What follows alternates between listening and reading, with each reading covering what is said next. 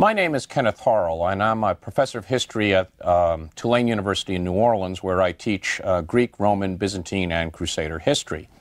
And I'm going to lead you through a set of 36 lectures which will deal with the origins, impact, uh, course of the Crusades, which ran from 1095 to 1291.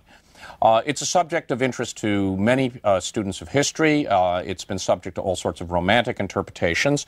And what I would like to do in this uh, initial lecture is to discuss uh, what do we mean by the Crusades and the period of the Crusades or the era of the Crusades. Um, I then wish to address some of the um, popular perceptions and even misperceptions of what the Crusades are all about. And then in the third part of this lecture, I want to set the stage uh, for our lectures uh, to come by sketching out the three civilizations uh, which were involved in these ventures, and that is the medieval Islamic world, uh, the world of the Eastern Roman Empire or the Byzantine Empire, that is the successor uh, to the old Roman Empire in the eastern lands of the uh, former Roman world and also Western Christendom, or what we would call today Western Europe, but Christendom is actually a better term. By the time we end with this course, we may begin to start speaking of Europe, or Western Europe as we understand it. So um, uh, let me start first with uh, what, what are the Crusades all about? Um, there are eight canonical crusades that are often taught in textbooks, and uh, let's just uh, stop for a moment and think about what those crusades are. Uh, they are the First Crusade, which launched this whole venture and took Jerusalem in 1099. It was preached in 1095. It um, was first and most successful of crusades. There was a Second Crusade led by two great kings of Europe uh, from 1146 to 1148. Uh, another great royal crusade with Richard Lionhearted, who's well known to everyone. That's in 1189, 1192, uh, uh, and it it, it, turned out to be something of a disappointment because it didn't retake the city of Jerusalem, which had fallen. The Fourth Crusade, we'll find out, is a pivotal crusade. It's a crusade that was to help Jerusalem but ended up taking Constantinople, and that crusade acts as a pivotal point. And then the last um, uh, four crusades in the canonical eight were led, or were supposed to be led, by two great royal crusaders, Frederick II. That would be the Fifth and Sixth Crusades, and St. Louis of France. Now, the reason why these eight are given numbers uh, and there are some other crusades mentioned. There's the so called People's Crusade, the Crusade of 1101, which I affectionately call Crusade 1.5. Um, is that their, their, their size. They, these were great expeditions launched by either the nobility or the monarchies of Europe, uh, involving, in some cases, as much as 100,000 people, not all soldiers, but many of them pilgrims, who moved east uh, with the avowed aim of taking Jerusalem. And that's an important point to stress that crusades, both in their size and their objective, is, is probably what gets them that number, that they were intended to take back the holy places, uh, the birthplace of Christianity, which most Christians saw as uh, as literally the center of the world. Uh, the lesser crusades, the ones that didn't get numbers like the Crusade of 1101, which just missed it, and some of the, the others that we'll encounter, uh, these were more in the tradition of armed pilgrimages. Uh, that is the travel out to see Jerusalem without necessarily having the same dimensions of a full crusade. And I think that difference in size and also objective is, is, is very important, and clearly was understood even at the time that there were certain great crusades and then there were lesser ventures years. Uh, furthermore, it's another point I wish to stress that the period of the Crusades closes uh, when Jerusalem is no longer the objective. And the use of the term crusade as a general term for religious war is really an extension of the term that comes out of the Fourth Crusade and this thing known as the Albigensian Crusade, a, crusade preached against heretics in southern France in the 13th century. And, and that leads us into a very uh, different direction. And as, and as uh, I would strictly define crusade in its medieval sense, uh, they really fa- fall, start to fall outside the bounds of the course. And after 1291, the crusading period is over. Well, what do we mean by all of these images of crusades? How have they been perceived? Uh, why is there a great interest, especially in popular opinion? It appears in novels, it appears in movies, uh, television shows. Uh, uh all sorts of legendary figures are associated with the Crusades. Well, for one, um, this, there's a, a, very widespread romantic perception that goes back to the Middle Ages. And many of the princes and knights of Western Europe assume the cross, that is, they pledged to go to Jerusalem uh, and liberate the holy city, and they did so as a display of their honor and chivalry. And crusading activity over the course of the 12th and 13th century was very much uh, a display of the nobility and chivalry expected of the military caste of Western Europe. It was really uh, very much a family tradition. Many of the families that went out to, on crusade in 1096, their, ans- their descendants continued to go on crusades. And there was a whole tradition of living up to the great ancestors, or in several instances, as in the case of the kings of France, uh, trying to erase the memories of a disgraceful uh, performance on an earlier crusade. Uh, Western Europeans came to uh, define their values far more sharply by going on crusades. And this is seen, for instance, in their reaction to perhaps the greatest of the Muslim uh, uh, commanders of the time, Saladin, the Sultan of Egypt, who was seen as almost a better example of chivalry than most of the Western Europeans on crusade. Uh, and uh, hailed as, in many ways, the supreme uh, example of a chivalrous man. And these notions feed very much into our romantic notions of the Middle Ages. Um, and the idea that the Templars, the Hospitallers, these men who uh, fused a um, religious vocation, they were in effect a, a religious order, like a monastic order, but at the same time they were warriors, they were dedicated to the defense of the faith, the defense of the holy city. These emerged in the early uh, 12th century at Jerusalem. Um, they're looked upon as the epitome of chivalry. Uh, they, again, of course, are figures that are quite common in novel and romance, uh, starting in the Middle Ages and running to uh, the present day. And so a good deal of these romantic images come very much out of the epic, the chanson de geste, the troubadour poetry uh, created in the 12th and 13th centuries. And, uh, and they are still a powerful image. Uh, the term crusader very often is a flattering term. Not always. Sometimes it's ironic, sometimes it's derogatory. But someone going on a crusade is supposedly doing this uh, uh action for some kind of noble reasons. On the other hand, uh, in more recent uh, generations, there's been a, a, darker side stressed of the Crusades and reinterpretations of what this historical movement meant. Uh, the dramatic uh, uh, expansion of national states of Western Europe, uh, especially in the late 18th, 19th, and 20th centuries, um, led to a real reinterpretation of the Crusader movement. Now, some of these were very positive, and others are not so positive, and these, these images are still very powerful today. Uh, in the 19th century, the French, above all, since many of the earliest crusaders were Franks or French, the French uh, spent a great deal of interest uh, on the Crusades. Some of the finest works in early Crusader scholarship are written, written by French scholars. Um, they stressed the idea of the Crusades as the first step in uh, nationalism, in the, in the sense of um, uh, imperial nationalism with the great missions in, in Africa and East Asia. The Crusades were the start of, of, France's mission in the holy places, claims to the area of the Ottoman Empire, its colonial mission in Algeria. Uh, Germans picked up on these themes. Uh, German intellectuals and politicians, encouraged by Bismarck, uh, cast the great Crusader King Frederick Barbarossa as uh, the first great national king of Germany. Uh, that the Third Crusade, actually Frederick was also on the Second Crusade, but the Third Crusade was was the great national German effort. That Frederick unfortunately died an untimely and really unseemly death. He he drowned in a not so important river in Turkey, uh, and that someday he would come back and reawaken the German nation. He becomes almost an Arthurian figure in this German nationalism of the 19th century. Um, but there's another side at looking at these these more modern images, and this this becomes particularly common in perceptions and popular literature after the Second World War. Uh, the Crusades can be seen as the first of uh, a series of European imperial ventures into the Islamic and also the Greek Orthodox, the um, the Eastern Christian worlds, and these are not such friendly images. The Crusaders are cast as religious fanatics, uh, men uh, brandishing their sh- swords in the name of religion, but really acting out of political motives, out of avarice. Um, they um, and there is some evidence to support this, uh, some very good evidence. The sack of Jerusalem on the 15th of July in 1099 was a disgraceful act that shocked the Islamic world. The Crusaders burst into the city and butchered the Jewish and Muslim populations.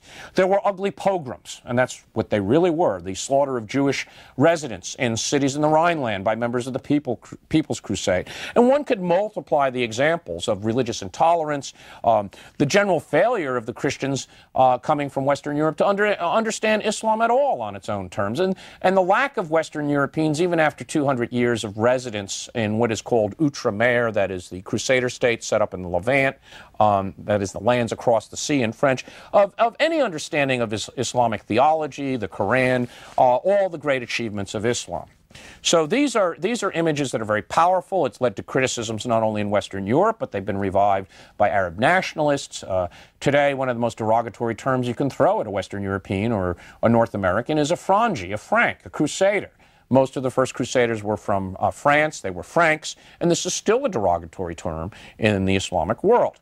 And so these images are extremely powerful, these, these negative images, and they balance this romantic tradition uh, going back to the Middle Ages as well as these 19th century nationalist interpretations. So uh, the Crusades are really a remarkable phenomenon coming out of the Middle Ages, still being debated, still being discussed today, uh, and still being seen as having an immediate influence on our world, uh, especially on the Middle East. Well, let's let's take some of these uh, assumptions and, and, and, and explain and elucidate that they're not the whole story at all. Uh, they are um, uh, based in a certain amount of facts, but there's a couple of points we should remember before we venture on to these lectures. Religious warfare and fanaticism was by no means the monopoly of the Western Europeans in the 11th, 12th, 13th centuries. Far from it. Members of all three of those civilizations, the Islamic, the Byzantine world, and of course Western Christendom, all agreed that there was such a thing as religious war and it was to be waged under certain circumstances. Islam was a faith born with jihad, that is, holy war. There is an articulated ideology of holy war, the expansion of the uh, heartland of Islam, the war against the unbelievers. This is a notion that goes right back to Muhammad. It is still a premise in Islam. It's invoked uh, in various ways and fashions down to this day. Um, on the other hand, the Muslims did have, especially in the era before the Crusades, uh, a rather articulate and, um, and by the standards of the age, a tolerant uh, treatment and policy towards the non believers, Dimini, the Christians, the Jews, Zoroastrians. Uh, they were treated as second class citizens. They were disarmed, but nonetheless, uh, they were not to be destroyed. They were not to be slain in some act of fanaticism. Even though there might be disgraceful acts of destroying a city, this was not policy. Uh, and so the Muslims very early had to come to terms with the fact that uh, they ruled a majority of non Muslim subjects. Um, Western Europeans, on the other hand, actually had to progress to the notion of crusade and holy war. It's not in the New Testament. You had to go back and fuse Roman notions of a just war. The Romans always assure us that they never waged an unjust war. In Roman texts, uh, certainly from the second century BC, the Romans actually have a special fetial rite in which they justify their wars, uh, usually combined with the claim that their envoys had been um, unceremoniously murdered by the um, offending power. Uh, and so that tradition fed in. It was known to St. Augustine, writing in the 5th century. Uh, it could be fused with Old Testament visions of religious war, that is, the Israelites conquering uh, uh Canaan uh, and, and throwing down the idols. Uh, and furthermore, there was a long tradition of converting pagans, heathens in Central and Northern Europe by the sword. Charlemagne, the great emperor of the Carolingian state, is reputed to have slain many Saxons who refused conversion on the banks of the Weser. Um, there were forced conversions across uh, Central and Europe and in Scandinavia. Uh, these could be easily justified with the whole martial ethos that comes uh, out of the Celtic and Teutonic peoples of Western Europe. And so by 1095, there were a number of traditions feeding into religious warfare. Even the Byzantines themselves the great heirs of the Roman tradition who styled themselves as the most, you know, in a sort of sanctimonious way by Western European standards, uh, styled themselves as the heirs of the classical tradition. They were the true Romans. Even they had notions of religious warfare. There is an incident that's often cited uh, that the Emperor Nicephorus Phocas in the 10th century, really, really irascible fellow, one of my favorite emperors, that he, that he, um, uh, approached the then reigning patriarch, uh, Polyeuctus, and said, uh, Give us remission of sins. That is, if you die in battle against the Muslims, imperial soldiers will go to heaven. And the patriarch answers, I can't do this because by the fact that you have blood on your hands, you've, you've, you've, you've broken one of God's commandments. And, and, and this incident is often cited as an example. Well, the Byzantines really didn't have religious warfare uh, the way the Western Europeans or even the Muslims, and that's not true. Uh, imperial armies, Byzantine imperial armies, repeatedly went into battle under religious symbols. Uh, the most common depictions on the rock cut churches of Cappadocia of the uh, 10th and 11th centuries in Central Asia Minor are the saints St. Theodore and St. George, who on a number of occasions are claimed to have fought in the ranks of imperial armies, to have given victory. Uh, and there's a number of cases where the Byzantines fought under religious symbols, and these symbols were extremely powerful. And you have to remember all armies went into battle under religious symbols, whether they be Muslim, whether they be Christian, whether they be Greek Orthodox. Uh, there would be sermons, there would be stirring speeches, appeals to the faith, uh, and that's extremely important. And it was accepted by all uh, the uh, great religions on, uh, of the Middle Ages that war in defense of the faith was justifiable or to justifiable or to expand the faith. So um, this is one preconception that should be removed, and I think it enables us to look at how the traditions of, of warfare uh, did differ in um, the Islamic, um, Western Christian, and Byzantine worlds, um, and that is a subject we'll get into later on, uh, dealing with the origins of crusading and armed pilgrimage. Well, with those images, that background, uh, I'd like to uh, conclude this uh, lecture with a discussion of the three civilizations under study. Uh, one of the reasons why the era of the Crusades is so important uh, is that it brings these three civilizations, three related civilizations, uh, the Islamic world, uh, Byzantium, and Western Christendom, together. Uh, that's not to say they were in complete isolation before the era of the Crusades, but the contact had been uh, considerably more limited. Uh, furthermore, in many ways, the era of the Crusades is the climax to a whole number of changes in institutions, uh, economic development, religious uh, attitudes uh, in all three of these civilizations, which can be traced back um, to a common parent that is the late Roman world.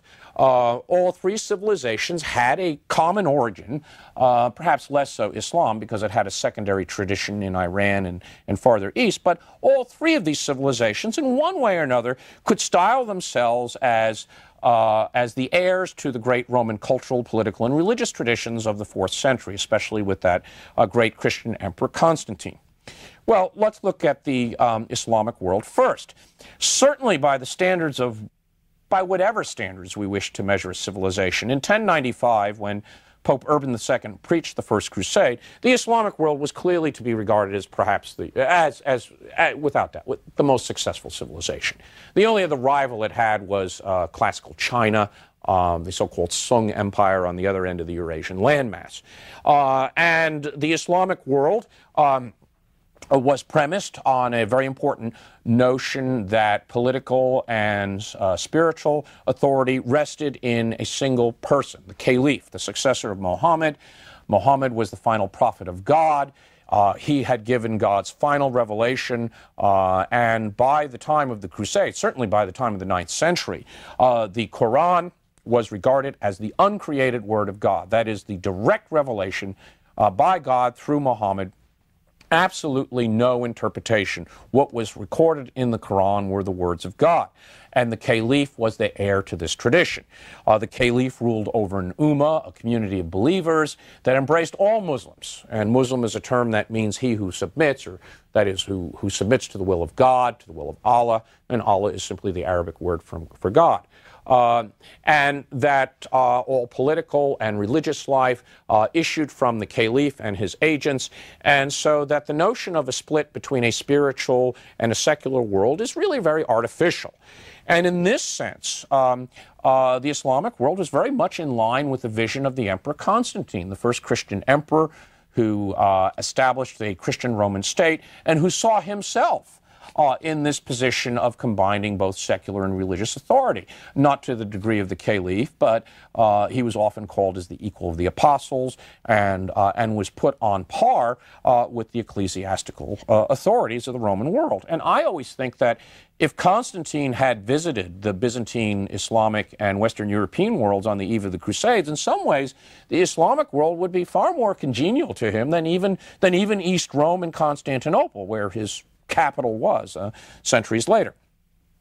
On the other hand, the Muslims were divided on exactly who had claims to that religious authority. In 1095, we shall see that there were at least two, probably, well, if you want to bring in the, the Spanish caliph, which no one really expect, except the Spaniards cared about, uh, there, were, there are two choices of caliph. Um, uh, there was a division over this uh, uh, of this issue of succession. One was the caliph in Baghdad, often known as a Sunni caliph, that is the orthodox, which what came to be the majority opinion in the Islamic world, and and that authority claimed to have control over the whole Islamic world. The other choice was Cairo where there was a Fatimid caliph, a caliph that represented the Shiite and the Aliyid sectarians and offered a different vision of the Islamic world, a different vision of authority, uh, with Ali as virtually a, uh, a figure on par with Muhammad. And there was a major civil war, in effect, raging between Cairo and Baghdad over which which regime will, will would become the the caliphate. And the, and the, this played to the advantage of the Crusaders, who arrived uh, in the Near East at a time where this war was going on, and it divided uh, Islamic authority very bitterly. And in the course of the Crusades, that that that issue is going to be resolved. Uh, eventually, it is not going to be the Fatimid Caliphate or the other sectarian caliphates. It's going to be uh, the Abbasid and ultimately the descendants of the Abbasid Caliphate that will triumph. Also, the Islamic world uh, being extremely successful in many ways, it should be remembered that it was politically fragmented. That whatever the caliph said, whether in Cairo and Baghdad, there were numerous political orders uh, that were really outside of his control. That most of the Islamic world was divided up into the hands of different dynasts who protested their, their loyalty to a caliph, but really essentially ruled their regimes on their own. And they ruled over states which, to a large extent, were still a majority of non Muslims. Christians, Jews, uh, in Eastern Islam, Buddhists, Zoroastrians clearly formed the majority. And again, this would change as a result of the Crusades. We can spend less time on the Byzantine world, the uh, Eastern Roman Empire, because that empire was a great bureaucratic state. I've lectured on it before, and it really was very much the successor to the late Roman state I just described. Um, the Byzantine emperors ruled from Constantinople, uh, and in Constantinople, uh, the same notion that spiritual and secular uh, authority were closely associated, or not maybe the same person, but the patriarch of the Orthodox Church and the Orthodox Emperor of Constantinople resided in the same capital. And contrary to many popular opinions, it wasn't that the patriarch was the chaplain of the emperor, far from it. Patriarch and emperor were seen as two figures who cooperated. When they disagreed, that was seen as a schism, as a cutting. That was very disquieting to most Orthodox believers. The norm was cooperation. The secular and spiritual worlds were essentially part of the same, and religious identity was the key way of, dis- of identifying oneself in the Byzantine Empire. Were you Orthodox? Did you give your loyalty to the Orthodox Church and Empire? It also was, up until just before the Crusades, a generation before the Crusades, the greatest military and political state in Christendom. It did suffer a crushing defeat at the Battle of Manzikert in 1071, and actually the Crusades are, are um, ignited uh, by an appeal of the Emperor Alexis I for military aid uh, from Western Europeans to take back uh, historic lands lost to the Seljuk Turkish invaders, these Muslims who occupied Asia Minor. And then that brings us to our third civilization, Western Europe. I like to always put it that Western Europe went on crusade in the world of the Romanesque cathedral and emerged uh, out of the Crusades in the High Gothic. Uh, that perhaps is a simplification, but in, in many ways, Western European society and civilization uh, underwent the most dramatic changes as a result of the two, genera- uh, the two centuries of crusading. Um, and Western Europe also highlights the fact that in dealing with the Crusades, and this will become quite evident in the coming lectures, this is not simply going to be a set of lectures on Crusades 1 through 8. Uh, the Crusades were far more than just those eight military expeditions um, that the, uh, the impact of the Crusades, its influence on political institutions, on economic change, on religious life, on the very identity of Western Europeans far transcended just those expeditions. And a good deal of what we're going to be looking at is analyzing uh, the repercussions and impact of those Crusades with Western Europe as our main focus, and then also trying to give as much uh, attention that we can for the Islamic and Byzantine worlds that were also uh, very much influenced by these ventures. Uh, but as to Western Europe at the start of the Crusades, clearly it was not on the same level as the other two civilizations. Uh, whereas the Islamic world and the Byzantine Empire presented the images of very powerful civilizations, both of them with some kind of bureaucratic state, with a, a powerful ruler who could get his will done, who could collect taxes, and both states uh, with the notion that uh, political and uh, spiritual authority essentially rested in the same place, in a great capital city, Baghdad or Cairo in the Islamic world, Constantinople in uh, the Byzantine world. Uh, that was not what obtained in Western Europe. Uh, in 1095, there was a great religious capital in Europe. That was Rome. Rome had emerged as the religious center of Western Europe. Uh, part of that was through a historical accident that the popes in Rome claimed to be the true successors of Peter. They were the only Petrine see, that is, apostolic see, that could trace its descent back uh, to an unbroken succession of bishops all the way to Peter. Uh, and they were the only see in Western Europe that had that claim. The others were in what is, uh, in 1095, either the Byzantine Empire or the Islamic world. Uh, furthermore, Rome had been the capital of the Roman Empire, especially the Western Roman Empire that had collapsed in 476. So the popes also inherited all of the uh, legitimacy and respect, uh, the mantle of the late Roman emperors. And so in the papacy in Rome uh, were the religious authority of the Western Church as well as all those Roman imperial traditions. However, political authority, that is secular authority, was not uh, in Rome. In Western Europe, the majority of kingdoms, and really the, the main power were the principalities and the, the feudal states of Western Europe, the majority of these states uh, were founded by Germanic, in some cases Celtic rulers, who, while they gave their allegiance to the Pope in Rome as their spiritual father, uh, essentially governed regional churches and uh, regional states. And even in their own kingdoms, their power was, uh, was very, very much restricted by custom, and real power was at the regional and local level among the great feudal lords in the, um, uh, in the states that came out of the Carol Carolingian Empire or in other types of uh, strong, uh, powerful figures, um, old Celtic chiefdoms and the Celtic fringe, um, local rulers in Anglo Saxon England. So Western Europe presented a very, very different picture. Here, spiritual and political authority were not one and the same. There was this peculiar division. And on the eve of the Crusades, this, this issue is being battled out um, exactly what is the relationship between Western in Western Europe between the papacy uh, and the various political figures of Western Europe. What was the relationship of spiritual and secular on the abstract level? Which was superior? Uh, the popes always claimed that, of course, the spiritual was, and they were in charge of it. Uh, monarchs in Western Europe tended to disagree. Uh, this leads to a series of uh, debates, disputes, the so called investiture controversy, and to some extent, the Crusades are connected with this debate. Uh, they don't solve the debate, far from it. They actually widen the arena in which this debate will be played out. Uh, and it also is a debate uh, that leads to peculiar developments in Western Europe, to a division of these two authorities, and the emergence of the of the Western European nation-state order, which is quite distinct from the older traditions closer to the Roman world that you see in the Orthodox Empire, Orthodox Empire Byzantium and the Islamic world. And I always put it this way at the start of the Crusades, I think most of the Muslims and Byzantines were really quite perplexed. You know, who was ever in charge of these expeditions? They would be preached by the Pope, nobles might show up, kings might show up. It was a very, very peculiar venture uh, to the Byzantines and Muslims, and it reflected the unusual nature of European society, which had evolved along different lines and had diverged from its Roman uh, uh, traditions in some ways far more than either the other two civilizations. And that's a point that's important to stress because it's often overlooked. The Western Europeans had built their civilization on a set of local institutions and premises uh, that were not necessarily Roman. They were Germanic, they were Celtic, uh, in some cases uh, pre Roman. So, uh, with those three civilizations, what we plan to do is to, uh, to address this course in really three parts. We're going to look at the whole origins of the crusading movement in the first 12 lectures. We are then going to move to the first century of the Crusades, and for convenience, I call that the 12th century. Uh, that is from the capture of Jerusalem in 1099 to the collapse of the kingdom at the Battle of Hattin, uh, July 1187.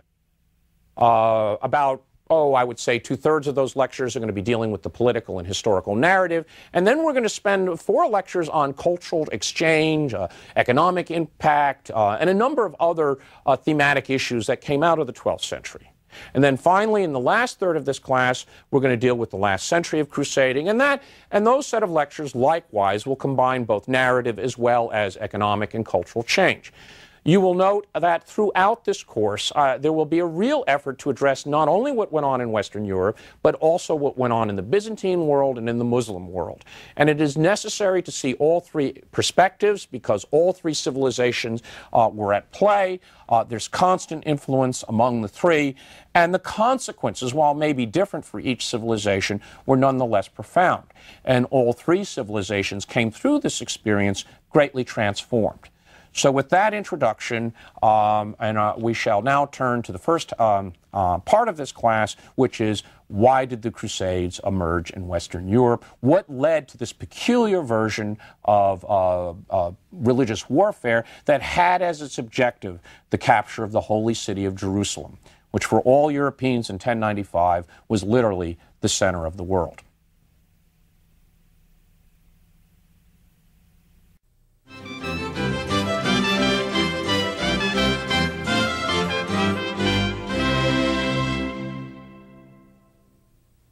In this lecture, I wish to sketch the Byzantine world in the time of the Emperor Basil II, who ruled from 976 uh, to 1025, often known as uh, Basil the Bulgar Slayer, Bul- Bulgaroktonos uh, in Greek. And the reason for the choice of that reign is that uh, he represents the epitome of what is known as the Middle Byzantine state. In the year 1000, as I mentioned earlier, Constantinople was clearly the greatest Christian state, uh, bar none. And in his reign, uh, many of the institutional, religious, and cultural features of the Byzantine world are, are, articulated, and this is the world in which the Crusaders will come into contact. Uh, and I think Basil's reign is a good way of showing how the Byzantine world looked when the Crusaders arrived in 1095. And he's living approximately a generation and a half earlier than the Crusades. He ruled from the city of Constantinople, founded by the Emperor Constantine back in the 4th century AD, which was hailed the New Rome. And through much of uh, Byzantine literature, uh, Constantinople is often referred to as the New Rome. And by the time of the Crusades, for a variety of reasons, the Byzantines were very, very finicky about insisting that they were the New Rome and that the Old Rome was really quite inferior. Uh, the city was also hailed as the Queen of Cities. Both Byzantine and Western writers uh, both uh, uh, speak of the city that way. Now, Basil II, as all Byzantine emperors, ruled over a powerful bureaucratic state. Uh, this state had adopted the use of the Greek language in the 7th century as its administrative language. The emperors were often known as a basileus, a king in ancient Greek. Uh, many of the Roman Latin terms had been translated in Greek or had been replaced uh, by Greek terms, and the empire was largely Greek speaking. Its core was what is now uh, Asia Minor, Turkey, uh, the Aegean Islands, Greece, uh, the lower Balkans. But the Byzantines also controlled extremely important possessions in southern Italy and had claims in Basil's time to Sicily as well, which was still a majority of Greek speakers. However, Basil's empire uh, had influences that radiated far beyond the uh, political frontiers. Uh, the Byzantine missionaries had been successful in converting the South Slavic uh, peoples as well as the Russians. And uh, starting in uh, 989, the Prince of Kiev, Vladimir, embraced the Orthodox faith and was married to the sister of Basil II. So the Byzantine state is often referred to as a Byzantine commonwealth uh, in the time of Basil II, uh, was more than just its immediate political area. Furthermore, this Byzantine emperor uh, was the heir to political and ideological traditions that go all the way back uh, into the late Roman period and even earlier. Byzantine emperors insisted uh, that they were uh, equal to the apostles, iso apostolicus in Greek. Uh, they often uh, also maintained they were the new David. And they had a mixture of images coming out of the Old Testament uh, and out of uh, Greek religious themes uh, from the late Roman period, in which the emperor was seen essentially as a partner to the patriarch, that is, the spiritual head of the Orthodox Church. Patriarch and emperor were often seen as working in tandem. They resided in the same capital, that made it all the more easy, and there are occasions where patriarchs and emperors clashed. And in those circumstances, the Byzantines themselves saw that not so much as a uh, struggle between church and state as a schism, a cutting within the single Orthodox community, which hits that theme I mentioned earlier uh, in previous lectures that uh, the Byzantine world did see a coincidence of spiritual and political authority, that there was a single Orthodox community administered by a Byzantine emperor as well as an Orthodox patriarch. Uh, emperors also uh, elaborated their uh, uh great uh, uh, ceremonial role. In the course of the two centuries before Basil II, you got the impression that a Byzantine emperor never held a normal conversation. At least that's what state occasions seem to indicate. The emperor was glorified and dignified. There is a elaborate set of um, instruments that were created in the imperial throne room, including a mechanical bird tree powered by uh, steam. Uh, there was also something of a barber chair, which was devised by the Emperor uh, uh Theophilus, where the emperor would receive uh, barbarians' um, uh, um, envoys, and he would be seated. the barbarian envoy would bow down and present his position, uh, petition. The emperor would press a button. Uh, the seat went to the second level. There was a quick costume change, and then the emperor was sent down. And when the barbarian looked up, uh, the emperor who had previously been in emeralds was now in rubies, and they were just amazed. How could the emperor do this? Now, now some of these devices seem rather simple to us, uh, but they were impressive uh, to the peoples of the time. Um, Byzantium uh, also had uh, the Roman architectural traditions, its churches, notably Hagia Sophia, and all of these were employed as diplomatic uh, emblems and weapons uh, for the Byzantine emperor. There was nothing more impressive than to be taken into a uh, full mass in Hagia Sophia. Uh, there are reports of certain Russians, especially Queen Olga, converting simply by the fact that God must dwell in this, this magnificent church. So uh, the, uh, the Byzantine emperors really did cloak themselves in Orthodox symbols. And uh, one point that I should stress, and this is especially relevant to the time of the Crusades, by the time the Crusades arrived, the classic uh, Byzantine religious art, and I draw that distinction from private art, had triumphed. Uh, the images that we associate with Byzantine art uh, were now the norm. Uh, Basil II, who was uh, one of the great Macedonian emperors, this was the dynasty that ruled from 867 to 1056, uh, a dynasty that uh, sought legitimacy by upholding the veneration of images, icons, uh, and also donating enormous amount of imperial money uh, to churches, to monasteries, to schools, and really making orthodoxy, the orthodox tradition we associate with the Eastern Church today, the religion of the dynasty and the religion of victory, as we'll see in another lecture. So uh, that's an important point uh, uh, to stress that when the Crusaders arrived, they found a remarkably rich uh, Christian architectural and religious tradition. In addition, uh, Basil II, as all Byzantine emperors, uh, commanded a really impressive professional bureaucracy and army.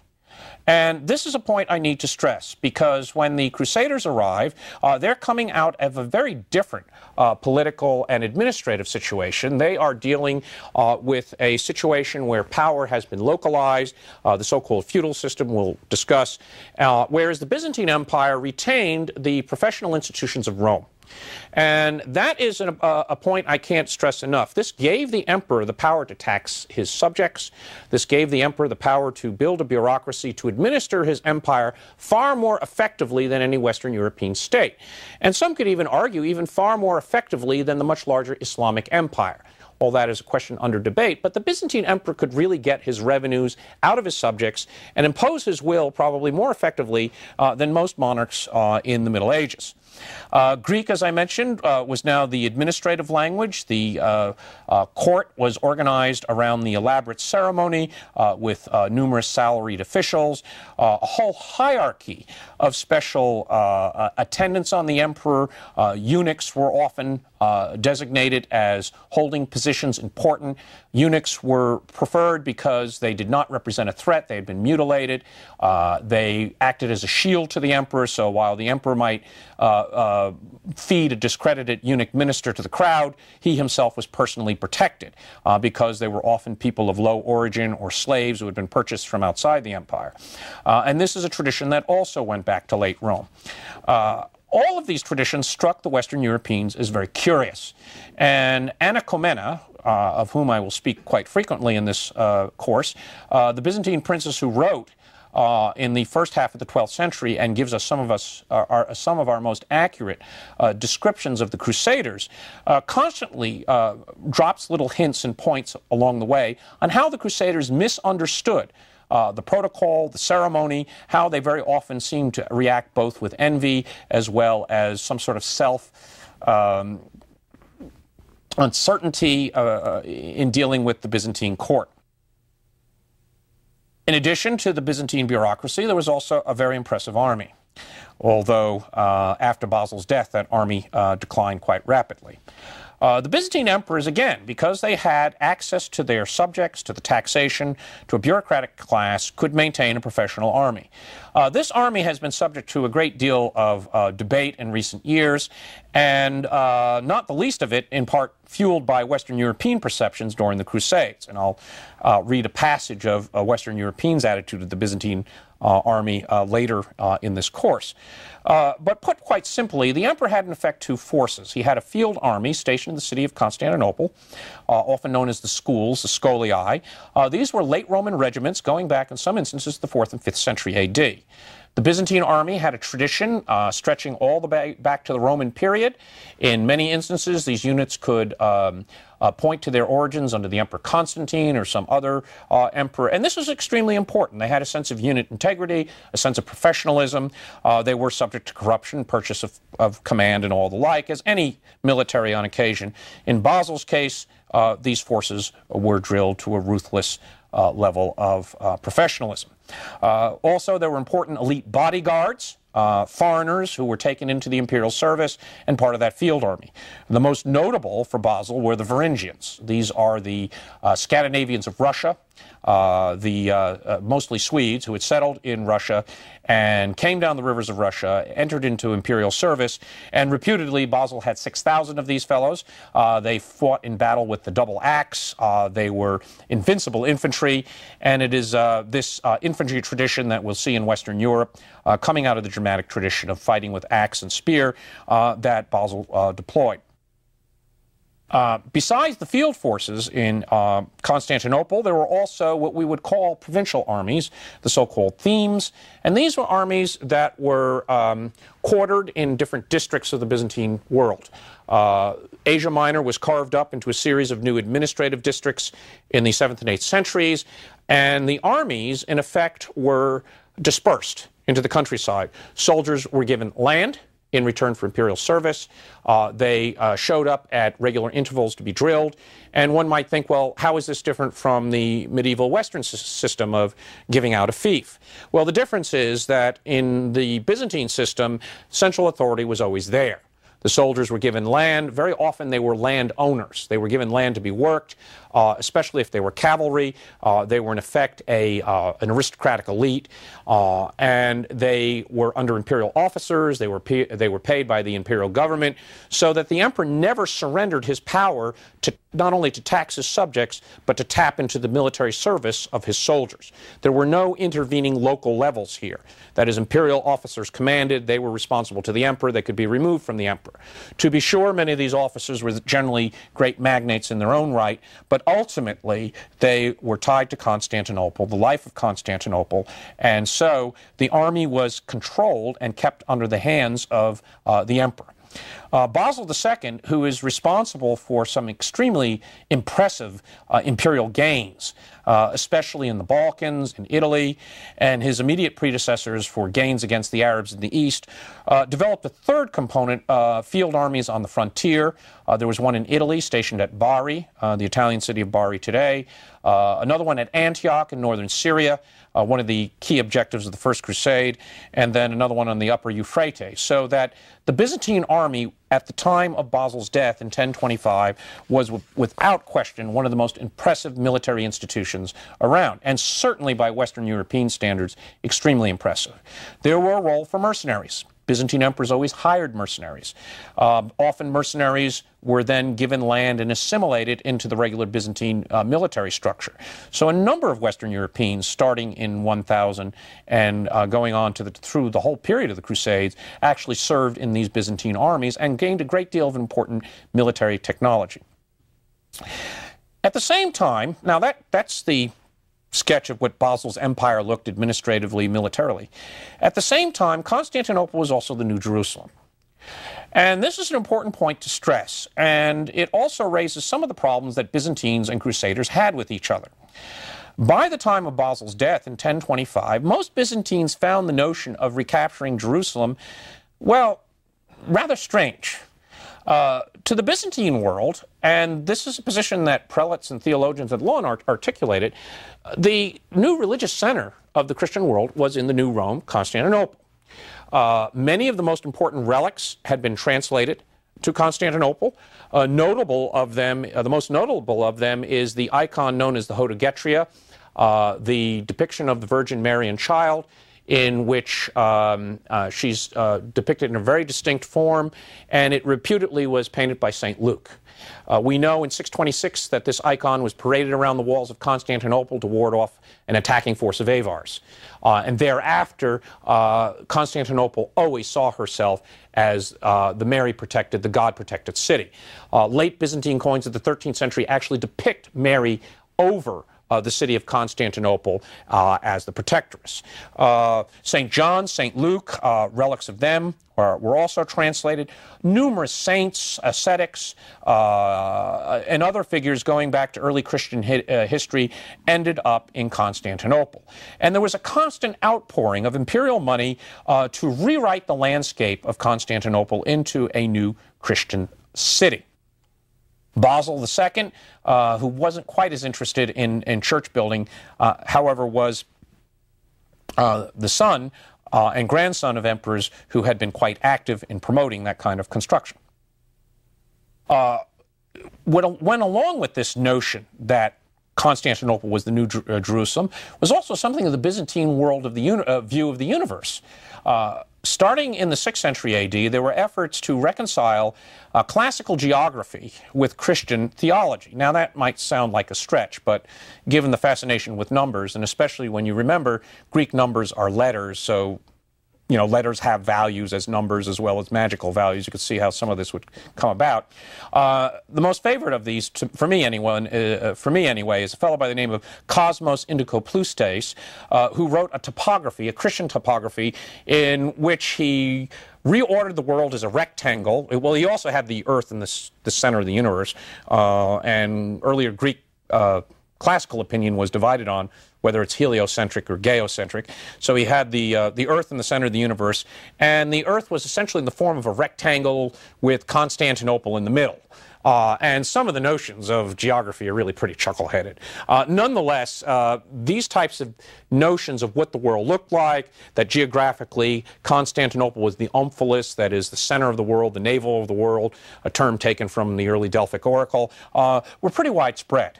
And that's seen in, all, in both Byzantine imperial ceremonial as well as in um, uh, Byzantine uh, diplomatic arrangements. Uh, for instance, the seating of clergy uh, from the whole of the Orthodox East was carefully regulated. How close was the bishopric to Constantinople? Uh, envoys coming to the emperor were seated based on their religion. That is, Orthodox princes closer to the emperor, Western princes more distant. So they had a very, very powerful hierarchical sense of the world. And again, as I mentioned earlier, Anna Komnene captures some of this with the gruff uh, Western European knights of the First Crusade who come in and really are quite taken aback by this type of protocol. Uh, they're used to shaking hands. Uh, there's even one instance of an oafish uh, Norman knight uh, sitting in the emperor's throne because uh, he got bored, uh, and the Emperor Alexis uh, just ignored him and eventually went away.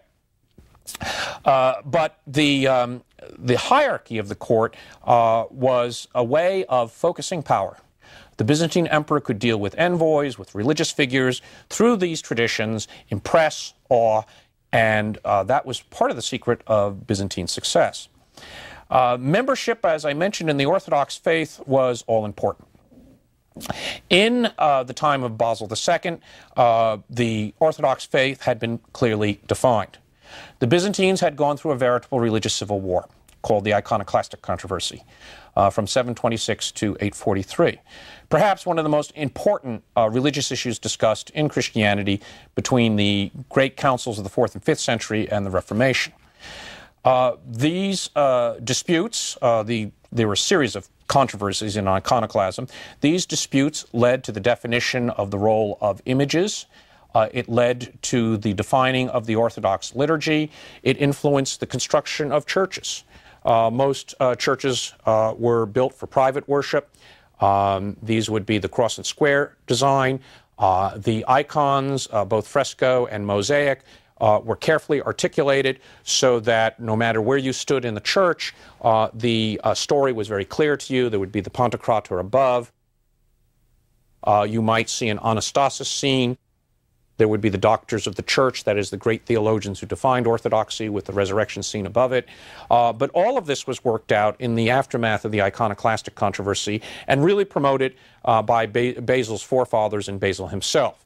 So when the Crusaders came to Constantinople, they encountered this full Orthodox uh, tradition. And uh, in that tradition were some unusual aspects of, of the Byzantine Orthodox Church that probably uh, puzzled Crusaders. Uh, first, the patriarch had enormous power. He had more central power and authority over his church than the contemporary pope in Western Europe. And that is a point that is often missed by those who study medieval history. It's usually assumed that the Middle Ages was an age of faith, the pope dominated Western Europe. We'll see that isn't quite uh, the way it was. There are certainly papal claims to authority, uh, but in many ways, the patriarch in Constantinople was far more effective. Uh, and this might strike you as odd for a moment, because often it's thought, well, you know, if the patriarch and the emperor are in the same city, obviously the emperor is the more important, and the patriarch is just the chaplain of the emperor. Far from it. For one, the patriarch presided over a central imperial church. Appointments to the great monasteries, to the uh, bishoprics, all went through him. Now, he might consult with the emperor, and there are, are times when the emperor would uh, interfere with papal elections or the uh, patriarchal elections or the consecration of a bishop. But on the whole, there was only so much the emperor could do on that. And very often they would be in agreement on these issues of who would be appointed. This also meant that the bishops, archbishops, the great abbots of the Byzantine world spent a good deal of their time in Constantinople, angling for advantages, uh, angling for translation, that is a move to a more lucrative see. Um, you didn't want to be uh, bishop of um, Caesarea. If you could be bishop of Ephesus, you'd get closer to Constantinople. There's that kind of intriguing going on, uh, intrigue going on. Uh, uh, and in addition, the the patriarch had at his disposal at his disposal a number of powerful monasteries in the city of Constantinople, including the monastery of Saint Theodore of the Studion. And if the emperor ever really gave him any trouble over religious matters, he could simply put the word out, and 10,000 monks would take to the street rioting. And believe me, the patriarch, when he wished, could start a riot very easily. That's done in 1054 uh, in the period of the Great Schism, the issue of the Great Schism, uh, the patriarch simply orchestrates a riot to discredit the Western Europeans. Now, um, the um, patriarch also, as well as the emperor, felt that they had some kind of spiritual authority for the wider Orthodox world. If the Byzantine Empire was more than just its political boundaries, so was the spiritual world of Byzantine Orthodoxy. Uh, the Patriarch of Jerusalem, the Patriarch of Alexandria in Egypt, the Patriarch of Antioch in Syria, which for most of the period was under Muslim rule, the last, and only recently put back under Byzantine rule, all three of those patriarchates were seen as symbolically linked to Constantinople. The various Eastern Orthodox populations, as well as Monophysites, Nestorians, all sorts of other uh, Christian confessions living under Muslim rule, were seen as somehow under the spiritual authority and protection of the emperor in Constantinople and under the spiritual guidance of the patriarch in Constantinople. This is seen very often in the iconography. Uh, even in such a late church as the Church of the Savior in Chora, if you look at all the saints, they're the saints that come from the whole Orthodox world. Saints from Persia, from Egypt, from Dalmatia, uh, today Yugoslavia, well beyond the frontiers of the Byzantine Empire. And there was a sense of a wider Eastern Orthodox commonwealth, uh, which was very real to the Byzantines. So the Byzantine emperor was certainly concerned about Jerusalem. Uh, Byzantine emperors actually donated a great deal of money to the reconstruction of the Church of the Holy Sepulchre. Basil II uh, was the first to do so in 1001. Uh, several of his successors uh, greatly extended the size of that church.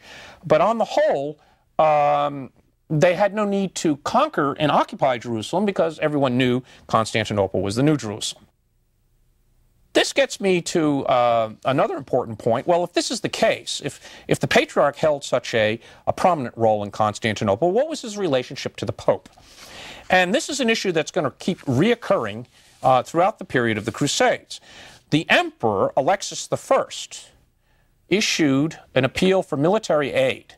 And the primary person he went to in Western Europe was the Pope. And there's going to be reasons for that, not to all the kings of Europe. Well, popes and patriarchs had a dispute going back well into the late Roman period.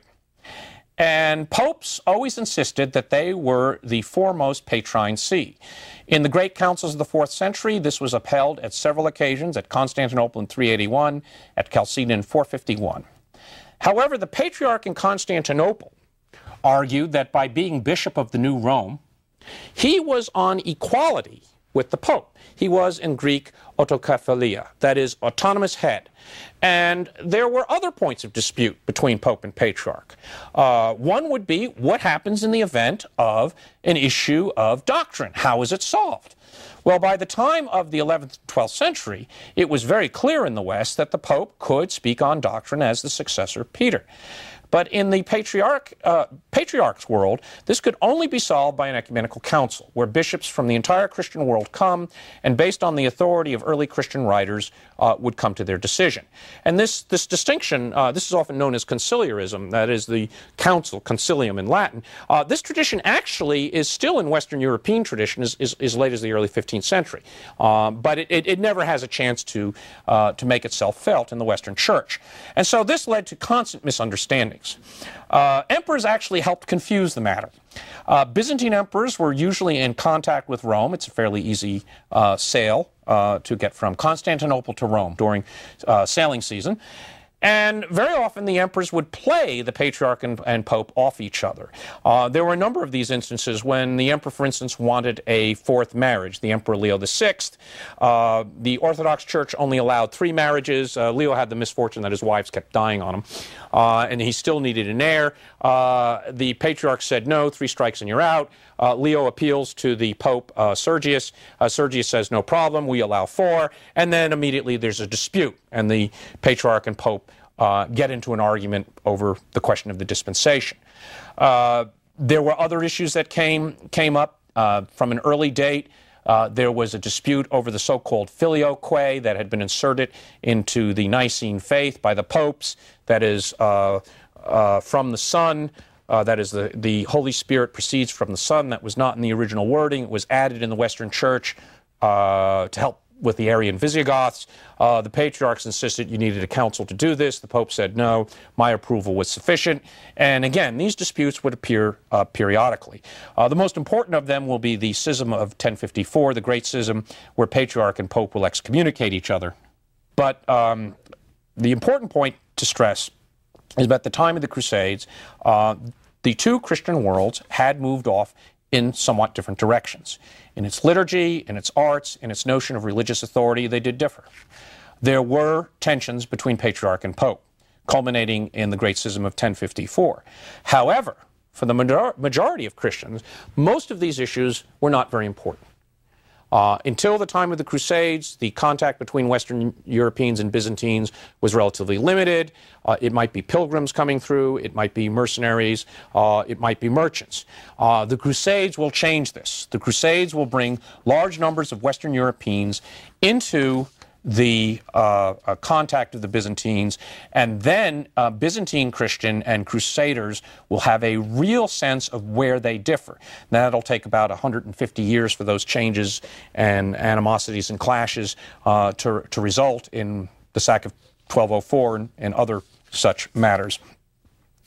Uh, finally, a few words I'd like to say is Constantinople also functioned as the new Athens. Uh, it saw a great uh, cultural revival in the 9th and 10th centuries of its classical traditions. Uh, Basil II's family was very much responsible for the copying down of the classics. Uh, this all started with the polymath Photius in the 9th century, uh, the editing of texts of Plato. As I mentioned, our best account of the people in the Crusades, maybe not the definitive history of the Crusades, but of the people, is the Princess Anna Comnena who actually saw and met many of the participants, and who wrote her history in the 1140s after she was eased out of power by her brother, uh, and is also in the well known Greek tradition of uh, historians write history uh, because they can't do politics. She's just like Thucydides. He was uh, the Athenian historian who was banished for military incompetence and goes out and writes a military history of the Peloponnesian War, uh, typical of most historians. But uh, Anna's account gives us real insight to these personalities. And the result is that Byzantine society as heir to this tradition, this classical tradition. Its aesthetics, its mores, its texts. Uh, the upper classes were very literate, men and women both. Uh, they had a fine sense of their continuity from the classical past and really must have looked upon Western Europeans as quite crude and boorish. Western Europeans often return the compliment with thinking that the Byzantines were effete. Uh, uh, too polished for their own good, and this would contribute a great deal to misunderstanding uh, between the two uh, sets of Christians. And I can only close with a good idea, uh, one, one small example, perhaps trivial, of, of what these differences really meant. And the one that, that always uh, fascinates me is that the Empress Theophano in the 10th century, a Byzantine empress, was married to the um, Holy Roman Emperor Otto II. Uh, and um, and she's the mother of the Holy Roman Emperor Otto III. And when she arrived in Goslar, in the German capital, uh, the Germans were absolutely excited with derision about her effeminate, polished ways. And two points in particular they made is that Theophano uh, ate her food with a fork and bathed once a day. And these are perhaps the types of differences that in time would be stressed between the literate Byzantine society and the Western Europeans that would lead to a lot of the misunderstanding of the Crusades.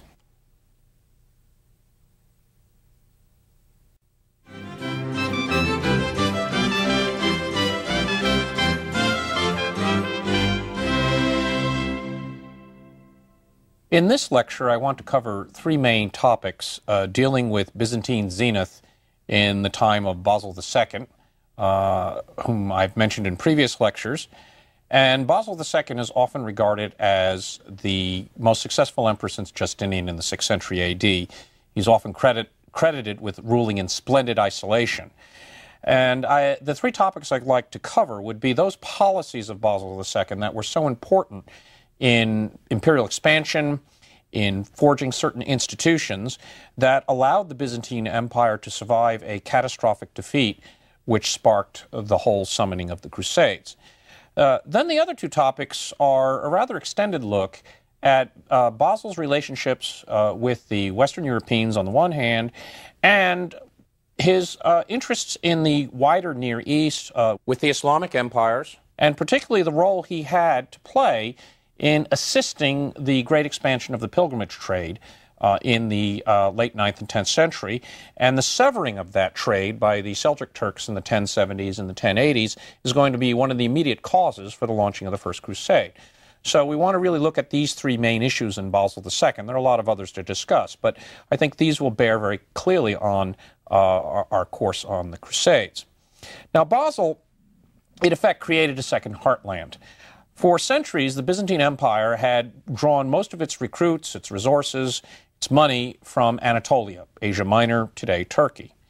Uh, the Balkan provinces, uh, including most of Greece, had been overrun by Slavic invaders uh, during the 7th and 8th centuries, and these regions were only under a limited control uh, by the Byzantine emperors. Uh, to some extent, uh, at the time of Basil's accession, the Byzantines essentially controlled the southern shores of Greece, and really the Mediterranean zones, the islands, uh, the towns, and in some ways the relationship looks very similar to what existed in archaic Greece back in the 7th and 8th centuries BC. Well, Basil conquered Bulgaria, and by Bulgaria we mean a good deal of what is now Serbia, Bulgaria, Albania. Uh, it was a momentous undertaking.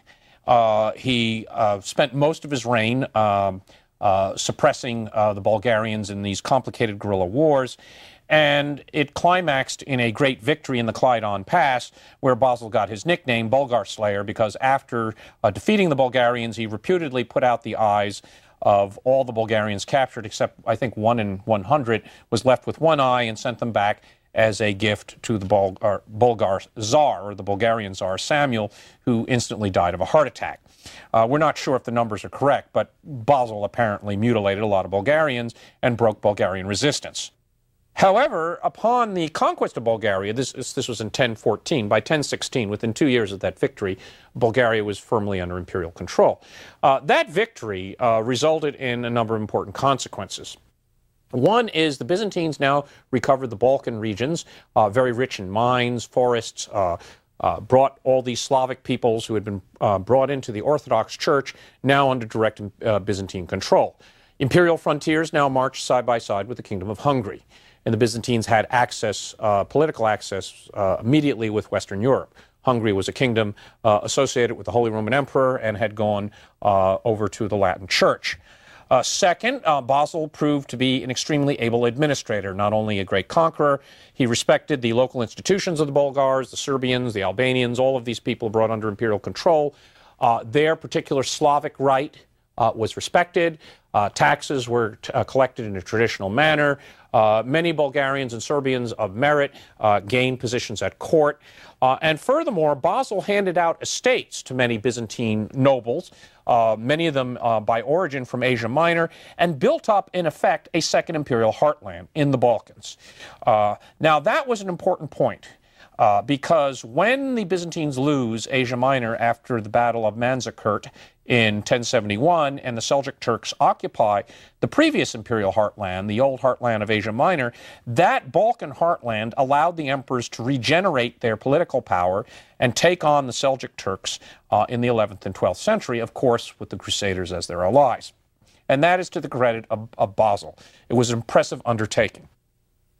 Basil also consolidated other frontiers, particularly on the east in the upper Euphrates.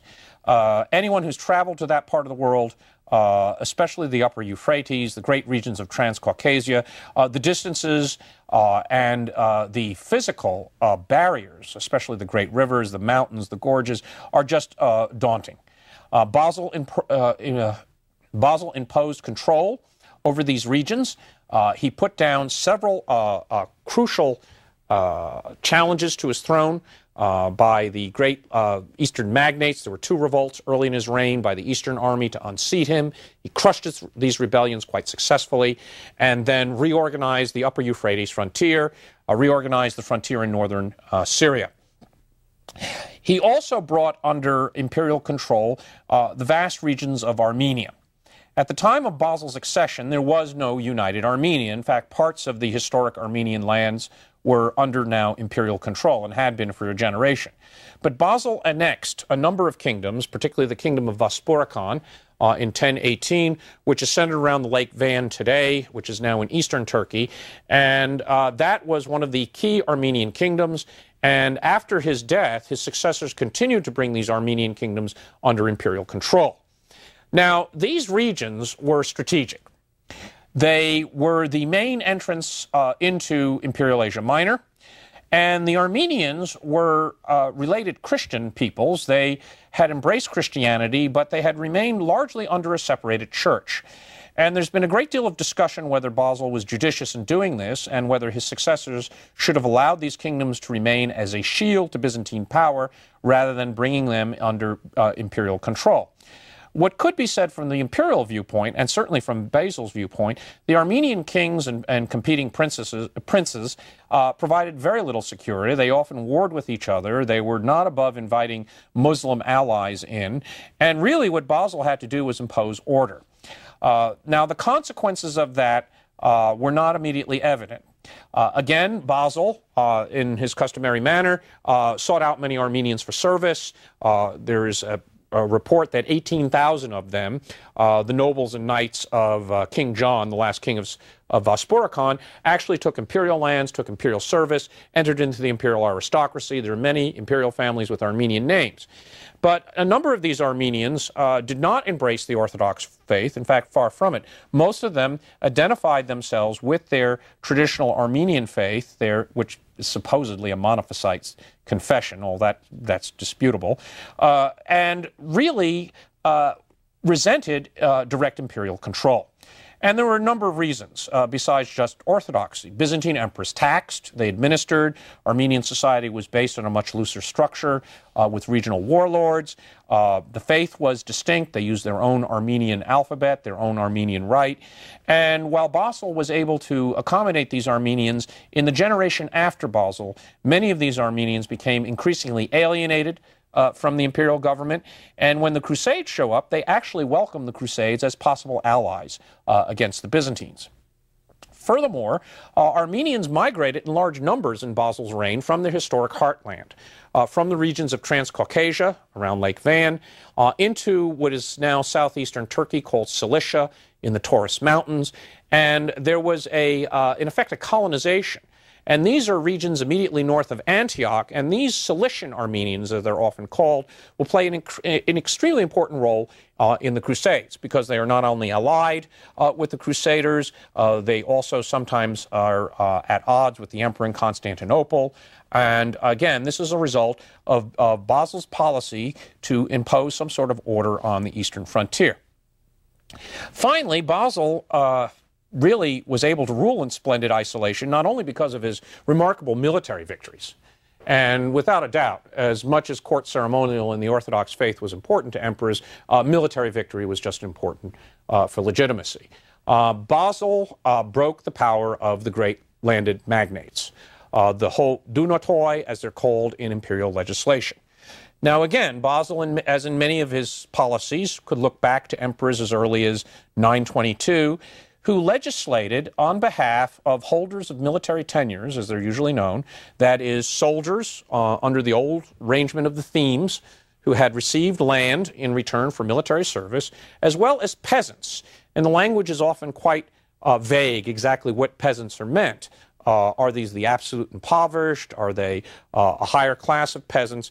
Uh, but in whatever their exact identity, uh, the great uh, military and economic transformation of the Byzantine Empire in the 10th and 11th centuries had caused social tensions.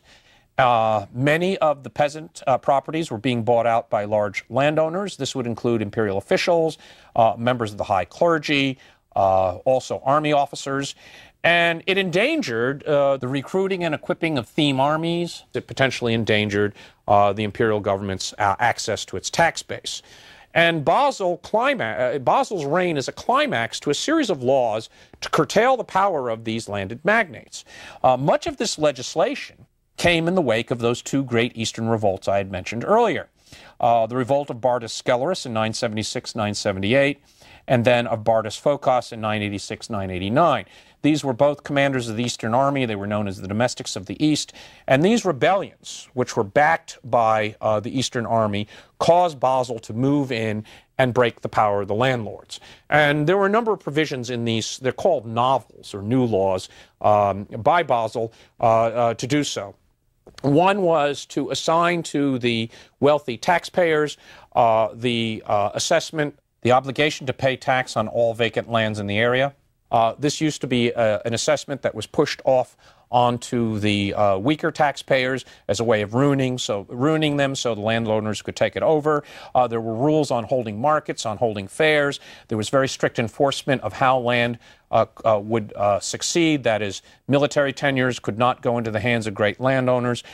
These were pretty elaborate legislation. There's also a couple of remarks that Basil used terror to enforce the laws.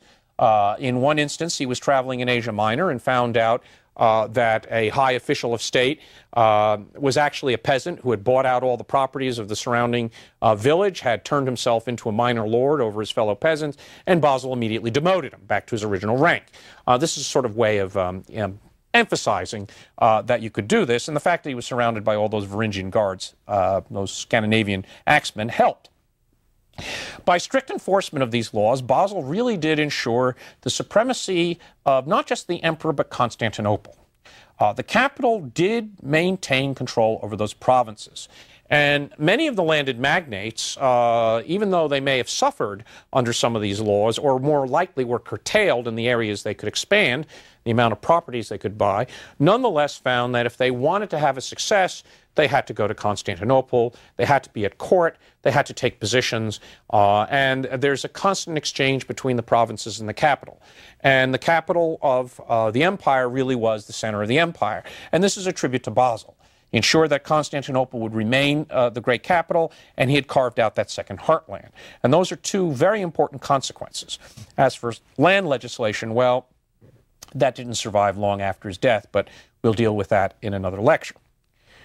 Now, Basil, as I said, uh, was also important because of his relationships uh, with Western Europeans and also uh, with the Muslim powers.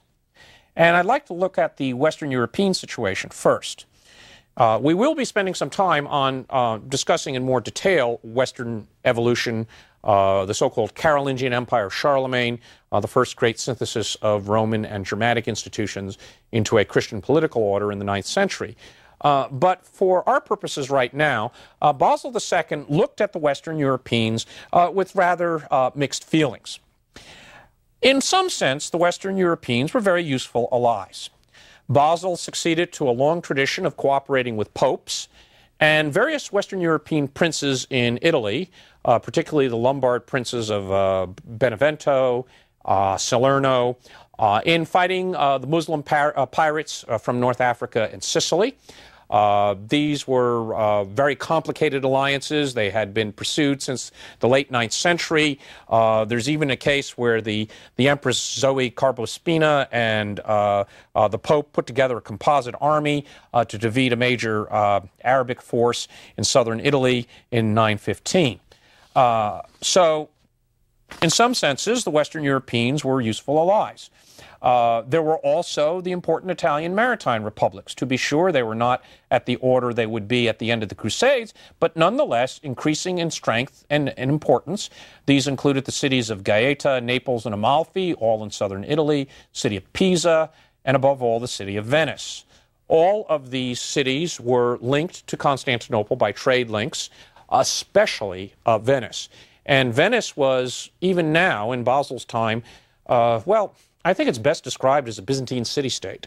Uh, in many ways, Venice was of the empire without being in the empire. The Venetians were clearly seen as a related people uh, by the Byzantines, and the contacts with these um, maritime republics were very important. Uh, Venetians uh, uh, provided naval support in Basil's wars against the Bulgarians. Uh, they were engaged in pilgrimage trade to the Levant, which we'll talk about. Uh, and uh, they also were already establishing um, what I would call factories, that is, uh, stations, in, in, some of the port cities in the Aegean and in the imperial capital. They by no means had taken over the carrying trade as they would in the 12th and 13th century. The Byzantine imperial fleet was still preeminent, uh, but they were coming to play a very important role in the Mediterranean economy. Uh, Basil also uh, had, however, uh, feelings that some of these Western Europeans were a little difficult to deal with and were potential rivals and dangers. Uh, foremost were uh, some of those same Lombard princes with whom they ally- allied against Arab powers in Sicily and in Sardinia and in Africa. Uh, these Lombard princes were no- notorious for rebelling, for attacking imperial possessions in Italy, uh, for refusing to pay proper homage to the emperor. There's a long tradition of Byzantines and Lombards battle, battling over southern Italy. Uh, in addition, these Lombards could look north and find support uh, from the Holy Roman Emperor. The Holy Roman Emperor was, uh, by Basil's day, uh, also the king of Germany. In 962, uh, the Emperor Otto I, who was uh, the Saxon king of Germany, was crowned Emperor of the Romans. Uh, this uh, entitled him to lay claim to the traditions of Charlemagne going back to 800 AD. And that act of coronation in 800 AD, uh, the Pope Leo III, who performed this service, claimed that he had transferred Roman power from Constantinople to Aachen, the capital of, of uh, Charlemagne. And Otto I was the heir to this uh, uh, political tradition. And by entering Italy and claiming the imperial title, he also claimed to be heir of the entire of Italy. He claimed to be the true Roman emperor. And this meant uh, repeated clashes between the German emperor uh, and the Byzantine emperor in Italy. Um, Otto I, Otto II repeatedly backed rebels against uh, the Byzantines, uh, often Lombards. Uh, they are also uh, notorious for exchanging various types of envoys.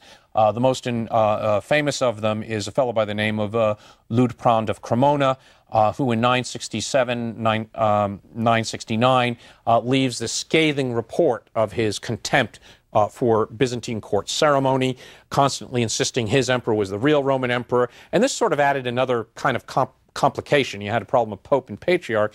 You also had a problem of a Western emperor and a Byzantine emperor.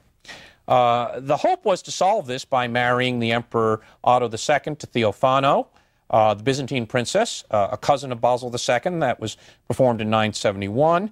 Uh, another marriage alliance was uh, attempted in 1001. Basil II actually sent his niece Zoe to Venice so she could marry the then uh, German Emperor Otto III, who was himself half Greek because his mom was Theophano. And uh, there were efforts to at least keep the two courts on cordial terms and work out some kind of arrangement in southern Italy. Uh, unfortunately, these never really came to fruition. Uh, the problem is ultimately the two emperors were really at odds. They were competitors rather than potential allies in Italy. Uh, there were several efforts after Basil's death to back rebels, and this will uh, actually culminate in a strange way in the Schism of 1054. However, Basil, as well as his Lombard prince rivals in southern Italy and uh, the German emperor, well, not so much the German emperor, but certainly the Lombards, uh, hired mercenaries in these clashes.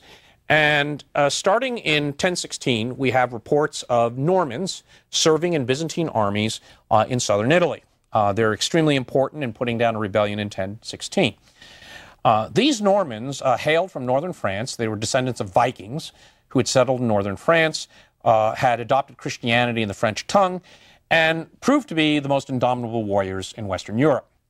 Uh, both Basil and his rivals in southern Italy uh, brought Normans in as mercenaries, and ultimately these Normans were going to take over, carve out their own kingdom in southern Italy, conquer Sicily, and eventually take on Constantinople. Uh, the Normans will be in the forefront of the Crusades. The uh, Norman Prince Bohemond from southern Italy, as I said uh, once before, reputedly one of the best generals of the First Crusade, was also intimately familiar with Constantinople. And once you get Normans into southern Italy, it's just a short step to Greece. So Basil's policies in, in the West uh, were in many ways rather disappointing. He didn't have the men and money uh, to really, uh, really to reconquer Italy uh, or Sicily. He could impose his authority, his hegemony, by a series of alliances, attempted marriage arrangements with the Holy Roman Emperors of the West, but this structure collapsed uh, shortly after his death in 1025.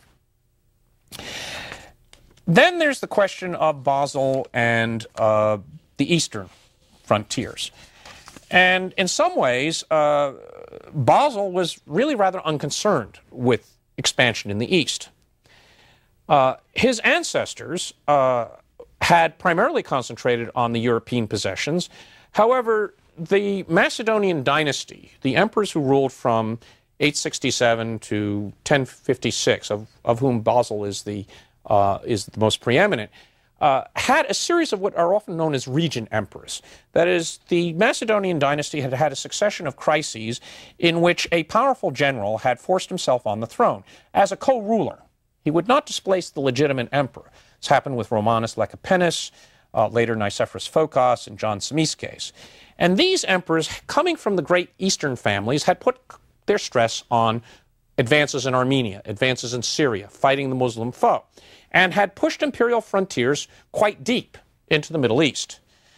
And when Basil came to the throne in 976, in his own right, he had actually succeeded at the age of four in 963, and he was under two separate regent emperors. Uh, one of the questions was would Basil continue this expansion? Would he, would he, in effect, bring the imperial power back into the Middle East? His um, predecessor, the regent emperor John, had penetrated so deep into Syria at one point uh, Christian delegations from Bethlehem and Jerusalem had, had appeared before the imperial army and petitioned for governors. And some have gone so far as to say that the Emperor John uh, was on the road to a crusade, on the road to taking Jerusalem back for Constantinople when Basil came to the throne and called a halt on this. Well, that's probably an overstatement uh, that the Byzantines saw this as a crusade. But nonetheless, Basil consciously decided not to advance imperial frontiers uh, into the east because this would play to the power of the great eastern magnates, the great families that had staged those revolts, the families who were the objective of so much of his legislation, And uh, therefore, uh, his uh, frontiers were stabilized. He created field armies. He put in administrative apparatus. He brought the Armenians into the empire. And in fact, bringing the Armenians into the empire was almost a security device in some ways because they would have revolted uh, with the Eastern magnates. So you might as well bring them into the empire. They're, they're less dangerous in your control rather than out of your control. On the other hand, that didn't mean that Basil was uninterested. Far from it. Basil was important uh, for two important uh, for two reasons. Uh, one, uh, the political arrangements in the East allowed Basil to negotiate with the Fatimid caliphs in Cairo. Uh, these were a Shiite sectarian Muslim government who had been based in Egypt since 969. They controlled the holy cities of Mecca and Medina. They had originated uh, about 60 years earlier in North Africa as the descendants of Fatima, that is the only daughter of the Prophet Muhammad, and claimed to be the legitimate caliphs of the Islamic world. They were opposed to the caliphs in Baghdad, the so called Abbasid caliphs. The Fatimid caliphs controlled Palestine, by which we mean um, the region uh, today of Israel, the West Bank, uh, which is the Roman term for the region, and I use it in that, that context, in its ancient context, not in its modern context. Uh, they controlled this area of Palestine and uh, central Syria. Well, Basil in 1001 made an arrangement with the then reigning uh, caliph in Cairo, a man by the name of Al Hakim, uh, to ensure the protection of Christian pilgrims to Jerusalem and to Bethlehem. He began to pour money uh, into the reconstruction of the churches there. He also gained the right to supervise the appointment of the uh, Patriarch of, Constant- of Jerusalem uh, the clergy, hospitals were built, or hospices, perhaps is a better term, that is, places for uh, pilgrims to recover, to get food, to get lodging. Uh, and in a way, Basil allowed for the uh, burgeoning of the pilgrimage trade. And, he, and it wasn't just this uh, treaty he signed with Al Hakim, it was also the fact that Basil had now imposed imperial authority through the whole of the Balkans, through Asia Minor and northern Syria, so that most Western European pilgrims who couldn't afford the expensive sea journey could travel down the Danube, largely under imperial protection, across Asia Minor, cross the frontier near Antioch, enter the domains of the Fatimid Caliph, who was an ally of the emperor in Constantinople, and make their way to Jerusalem.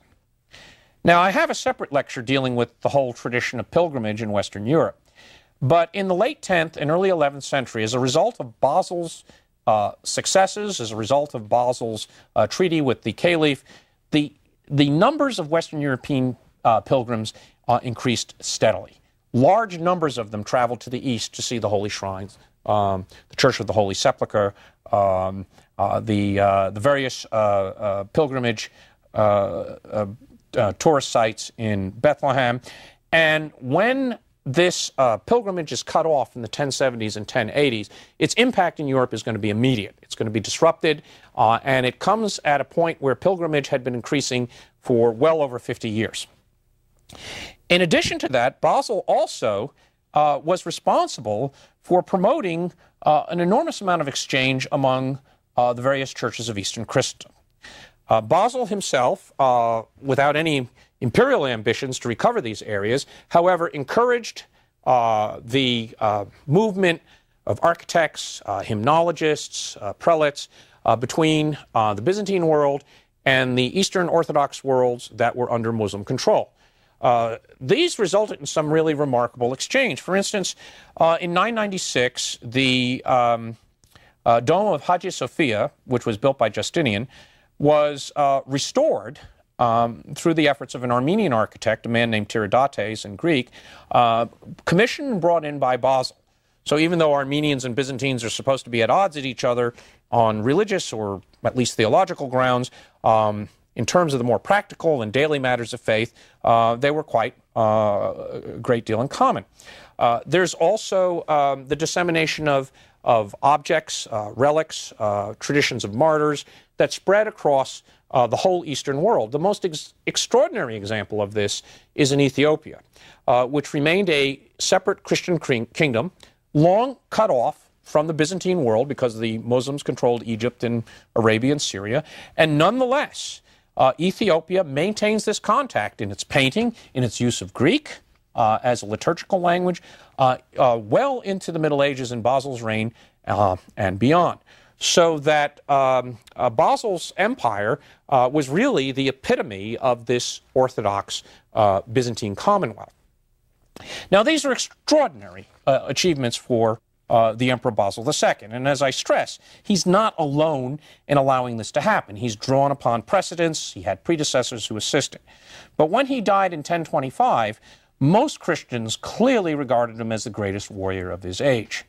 Most Christians also thought that Constantinople was an eternal imperial order. It was the historic Christian empire.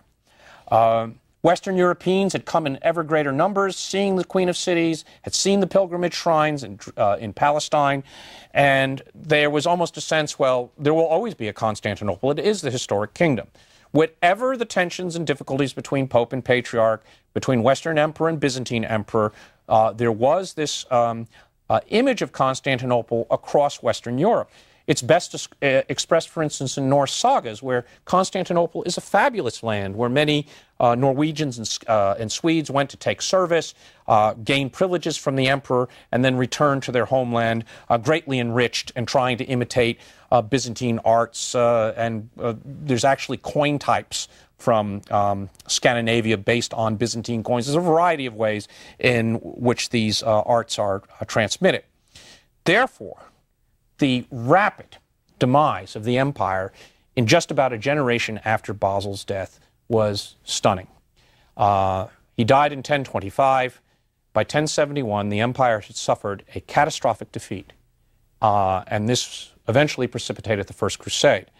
And why this defeat occurred, um, why the Byzantine Empire was plunged into crisis, is the subject of another lecture. Uh, but it is extraordinary, probably to observers at the time, uh, that such a splendid heritage could be cast away so readily by his heirs.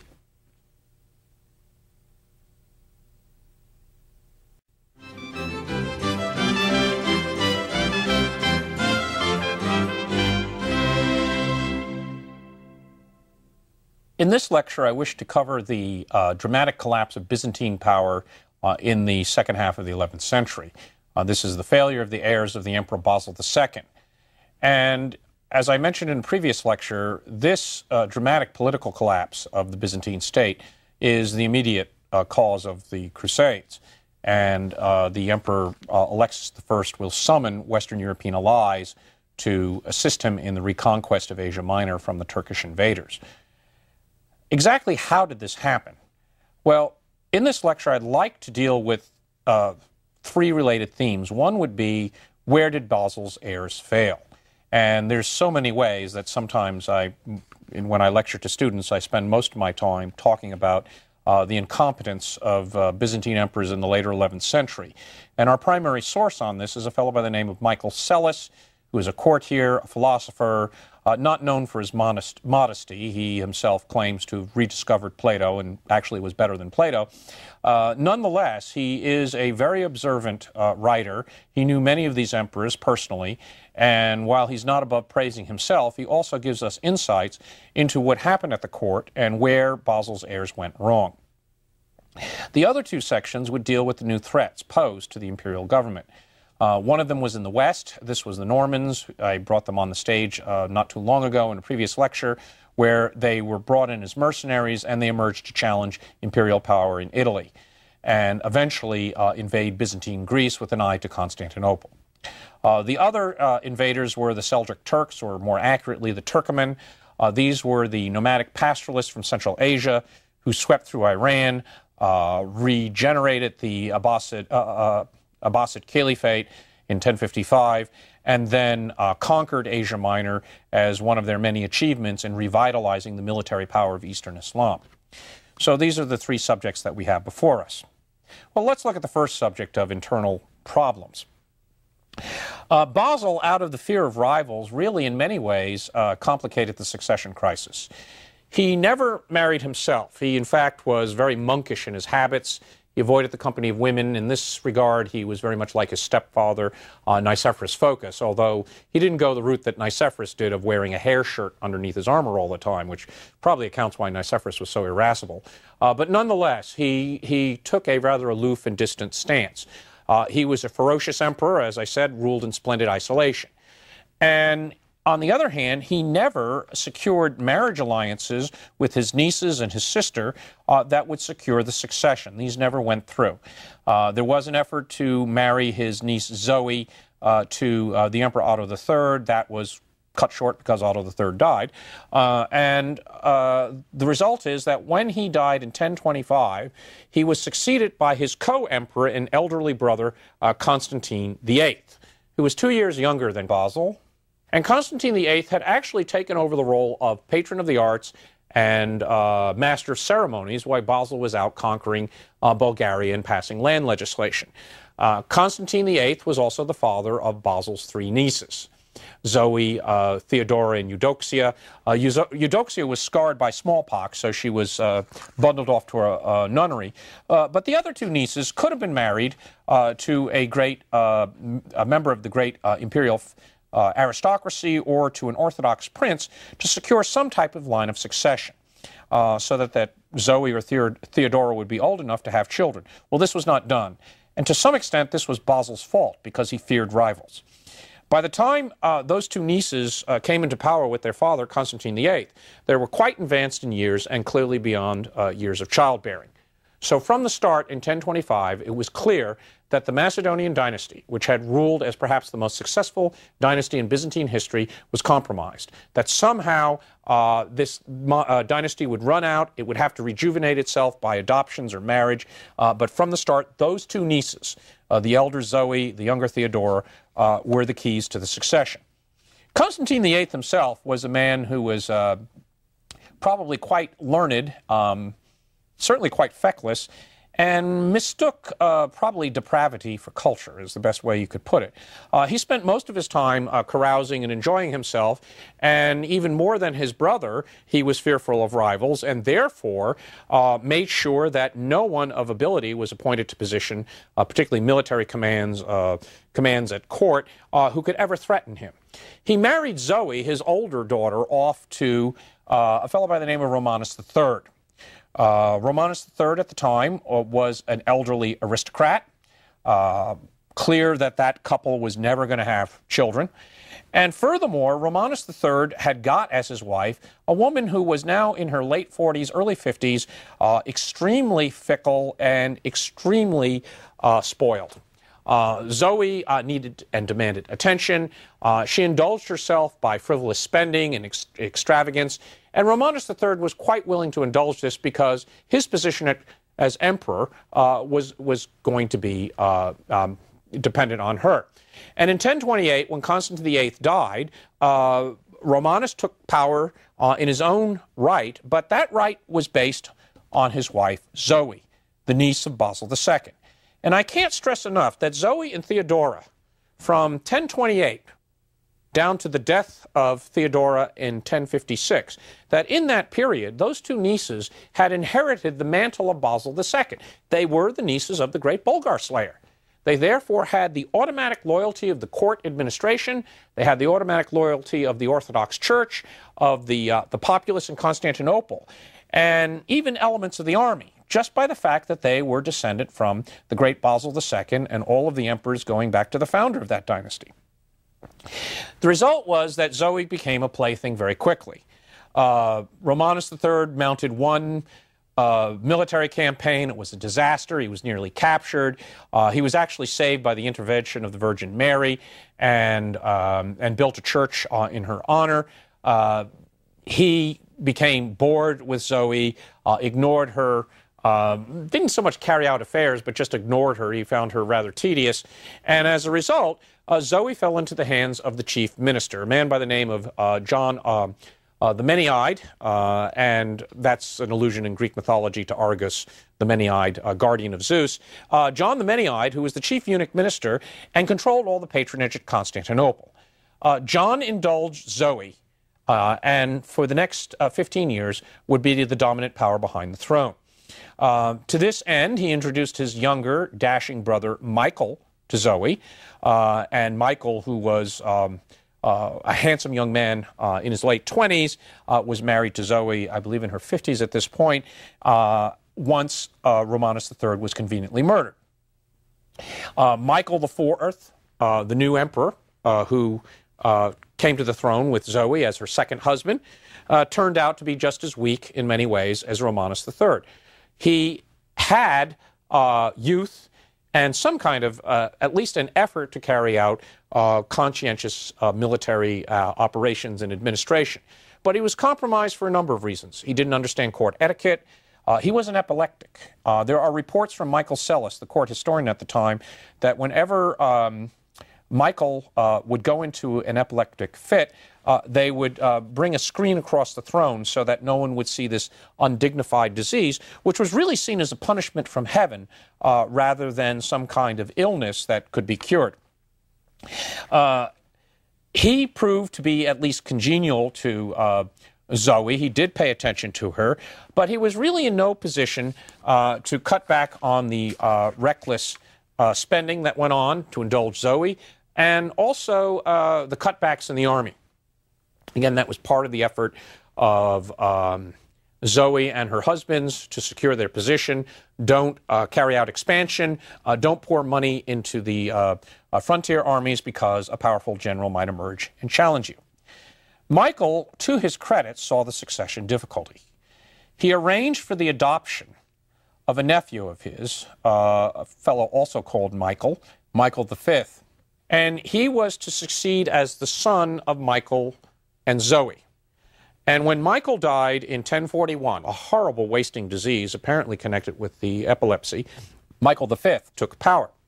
Well, Michael V um, put Zoe in a nunnery, also um, ran out of court the other sister, Theodora, brought in Slavic soldiers to impose order in the capital of Constantinople, and all of these were probably not a bad idea. He also dismissed John the Many-Eyed as a corrupt official, uh, but uh, as I said earlier, all of that institutional support to the two sisters uh, played against Michael um, V. There was an uprising, a very carefully orchestrated uprising by the imperial aristocracy. Uh, Michael was captured, castrated, blinded, dumped in a monastery. That's the retirement package in the Byzantine uh, Empire. And uh, the two sisters were returned to power. Uh, it was clear that Zoe was completely incapable of ruling on her own and they therefore selected uh, uh, husband number three, a man by the name of Constantine IX Monomachus. Uh, Constantine IX is uh, perhaps one of the most um, corrupt emperors ever to sit on the throne. Uh, he indulged Zoe, who died in 1050, um, his sister in law, Theodora. He openly kept his mistress uh, in the courtroom. Uh, there's all sorts of stories by Michael Psellus about Constantine IX. Uh, Michael Psellus does tell us that Constantine IX's great virtue uh, was to recognize the brilliance of Michael Psellus, uh, and that alone should get him in the records of history, at least in Psellus's opinion. Uh, but Constantine IX handed out uh, frivolous appointments, cut back on the military, and by his reign, the vast treasury that had been assembled by uh, Basil II had been spent out, and they begin debasing the currency. There's also all sorts of administrative and fiscal cutbacks. Uh, and with his reign, uh, the imperial dynasty is passing a watershed. Uh, there's no chance of any children. Uh, Constantine dies in 1055. Zoe, uh, Zoe had predeceased him. Theodora uh, rules very shortly on her own, the second sister, and she nominates uh, an emperor to follow him, follow her as her son, a fellow by the name of Michael VI. But it's clear the dynasty is spent. By 1057, the last connection to the imperial dynasty is gone.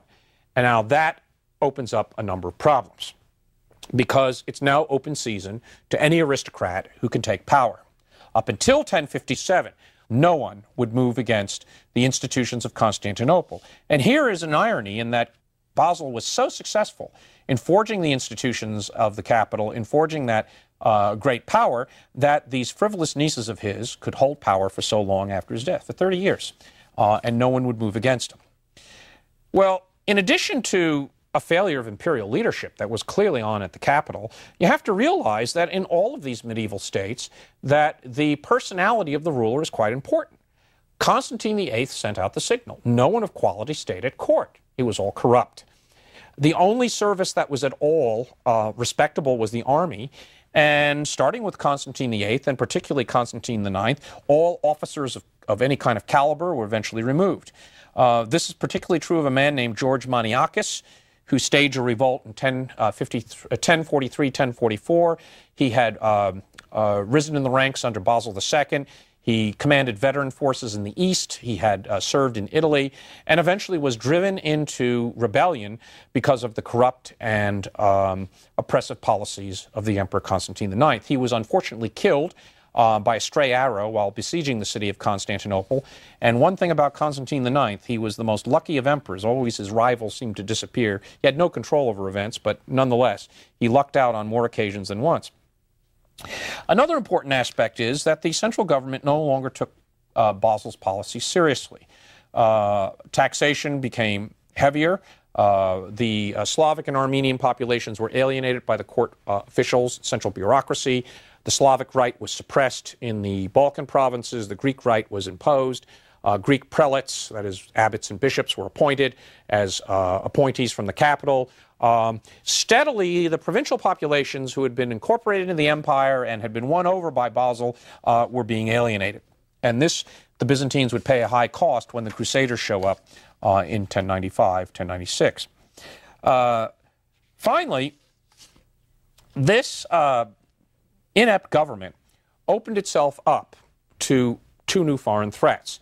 And it's a real debate whether the Normans in southern Italy or the Seljuk Turks in Asia Minor were foes that would really have taxed the ability of Basil II.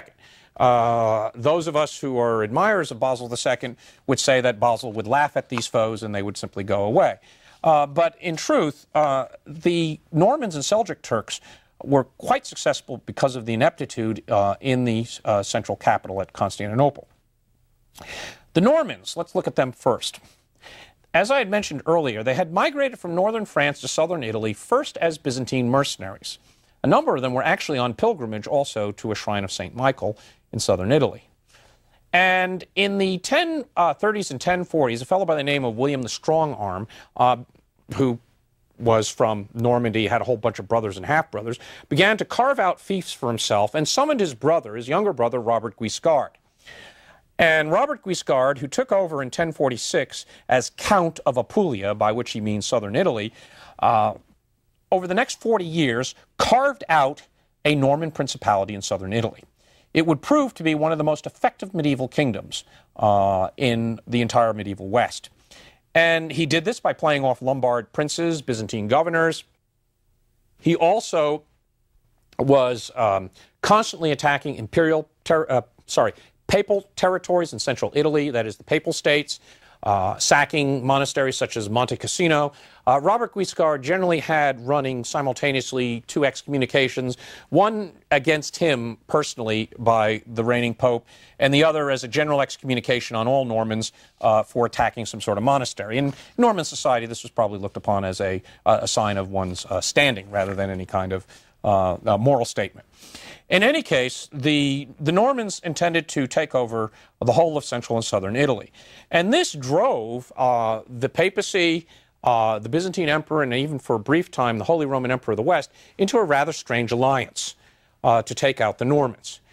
And it uh, climaxed in 1053 when the then reigning Pope, Leo IX, who was a great reformer pope, a man who really um, raised the position of the papacy, uh, sent a delegation of three legates, a fellow by the name of Cardinal Humbert, uh, a translator, uh, uh, Peter, the Archbishop of Amalfi, and a fellow by the name of Frederick of Lorraine, who was the chancellor of the Pope, uh, handled uh, administration and finances.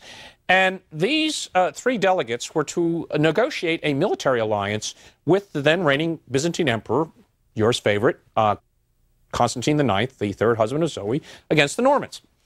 Unfortunately, everything went wrong from the start. the then reigning patriarch Michael decided to hijack and sideline this political mission into a test between Rome and Constantinople. Uh, the 10,000 monks of the Studian on call were sent into the streets.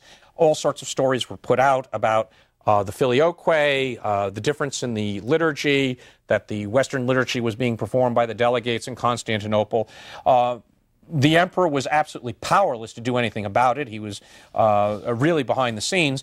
And Michael, in effect, provoked those envoys, who were all men committed to the reform ideals, where the papacy is the supreme authority in the West, to issue a bull of excommunication. The irony is that these envoys had no right to do so. They delivered the bull of excommunication uh, on July 16, 1054, uh, Saturday, on the altar of Hagia Sophia. Unbeknownst to them, their pope had died earlier uh, after he had been defeated by the Normans in a great battle uh, at Civitate. Uh, and died in captivity in April, uh, that is a couple of months before. The news had not reached them. In return, the Patriarch of Constantinople issued his own excommunication. This is what we often call the Great Schism, the Great Cutting. Now, this was not based on doctrinal matters, but on matters of discipline. That is, the liturgy, the relationship of council versus the authority of the Pope, um, uh, issues that aren't necessarily central to the Christian faith, but are very important to the administration of church matters. It was the climax of bad relations for the last 300 years between Constantinople and Rome. And I'd like to read an excerpt to give you some of the flavor of how this invective was tossed around uh, in the 11th century. And this is a selection coming out of the excommunication of um, Cardinal Humbert on the Patriarch Michael. Upon Michael, neophyte and false patriarch, brought only by mortal fear to assume the monkish habit, and now for his abominable crimes notorious, upon Leo, so called Bishop of Ochrid, upon Constantine, Chancellor of the same Michael, who has publicly trampled the liturgy of the Latins beneath his feet, and upon all those who follow them in their aforesaid errors and presumptions, uh, except those who repent. Uh, let them be anathema. Uh, as in upon the Simoniacs, the Valesians, the Arians, the Donatists, the Nicolaitans, the Severans, the Panoictai, the Manichaeans, the Nazarenes, as upon all the heretics, and finally the devil and all his angels. Amen, amen, amen. Um, this excommunication was only lifted by Pope John uh, the 23rd in 1969. Uh, the Orthodox Church is still to respond. Most of these heretical groups named in here long since disappeared, uh, and the vehemence with which these arguments were disputed uh, brings out an important point uh, of what's happening between the Orthodox and these Catholic churches. Theologically, they're essentially identical. They recite the same creed. But both churches, over the course of the Middle Ages, had involved independent liturgies, independent administrations, which began to assume, um, in effect, doctrinal importance. The Pope, successor of Peter, or do you use a council? The liturgy, do you, do you use the leaven or the unleavened bread? The Orthodox Church uses the leavened bread, that is, the little enzymes that make the bread rise, that represents the Holy Spirit. Uh, unleavened bread is to reproduce uh, the traditions of Israel in the Western Church. The sign of the cross, the insertion of the filioque. By 1054, these are beginning to assume cultural and religious significance and are part of that division, which will be widened as a result of the impact of the Crusades. Uh, the immediate result was no military alliance. Pope Leo IX had died. The Normans go on to conquer southern Italy. By 1071, they captured the last Byzantine fortress, Bari, have swept the Byzantines out of Italy, and in 10 years later, they actually invade Byzantine Greece. And the empire is fighting for its life against a new threat. Uh, at the same time as the, they were dealing, the Byzantine government was dealing with these Western opponents, the Normans, they also faced now a new threat from the East. And these are the Seljuk Turks. Uh, they unexpectedly appeared on the Byzantine frontiers in the 1050s.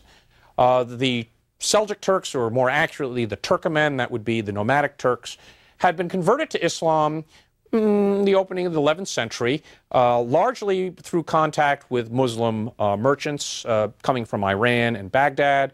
Also, from contact with military elites on the frontier, uh, Turks were long prized as warriors uh, in the um, Islamic world. Many of them were recruited as slaves to staff the elite forces of the Abbasid Caliphate, for instance. And we'll discuss slave armies uh, in a later lecture. Uh, the Turkomen were heirs to the uh, traditions of the Ghazi, that is, the nomadic warrior. Uh, they fought uh, uh, from horseback with a composite bow. They were absolutely superb in skirmish and ambush, prized as cavalry, absolutely indomitable in, bar- in battle. they could draw opponents into ill conceived attacks, ambush them. and the Seljuk Turks, in the end, revitalized uh, the Abbasid Caliphate in the 11th century. Uh, the Sultan, Tughril Bey, uh, from 1037 to 1063, united the Seljuk Turkmen tribes, swept through Iran, and in 1055 uh, entered Baghdad and restored the authority of the Caliph in Baghdad. Now, his main interest, Tughril Bey really thought that Cairo was his first and foremost objective. Cairo was the seat of the rival caliphate. Cairo also controlled Mecca and Medina, the two holy cities of Islam. Therefore, uh, Seljuk armies were directed against the armies of Fatimid Egypt. As I mentioned earlier, Fatimid Egypt was in alliance with the Byzantine Empire. And no Turkish army could move against Syria, could move against Jerusalem and Egypt without taking care of its northern flank, that is the Byzantine Empire. At least that's how Malik, uh, that's how um, Bey and his successor Alp Arslan saw it. Little did they know that the Byzantine Empire was not being administered by the best of rulers. In any case, there was a second uh, aspect of this. The Ghazi warriors had combined the tradition of nomadic raiding with jihad, holy war. And to keep these guys occupied, uh, very often these tribal armies or regiments were sent into Byzantine territory to raid because it would be annoying to the Arab uh, urban populations to keep, keep them stationed in the cities of Iraq and Iran, where Seljuk soldiers had a tendency to latch on to things and cause problems with the civil population. You know, any ruler wants to keep these fellows on the frontier occupied. So uh, Bey released his Turkoman tribesmen, his uh, these armies, onto the Byzantine Empire, and what they found is no serious resistance.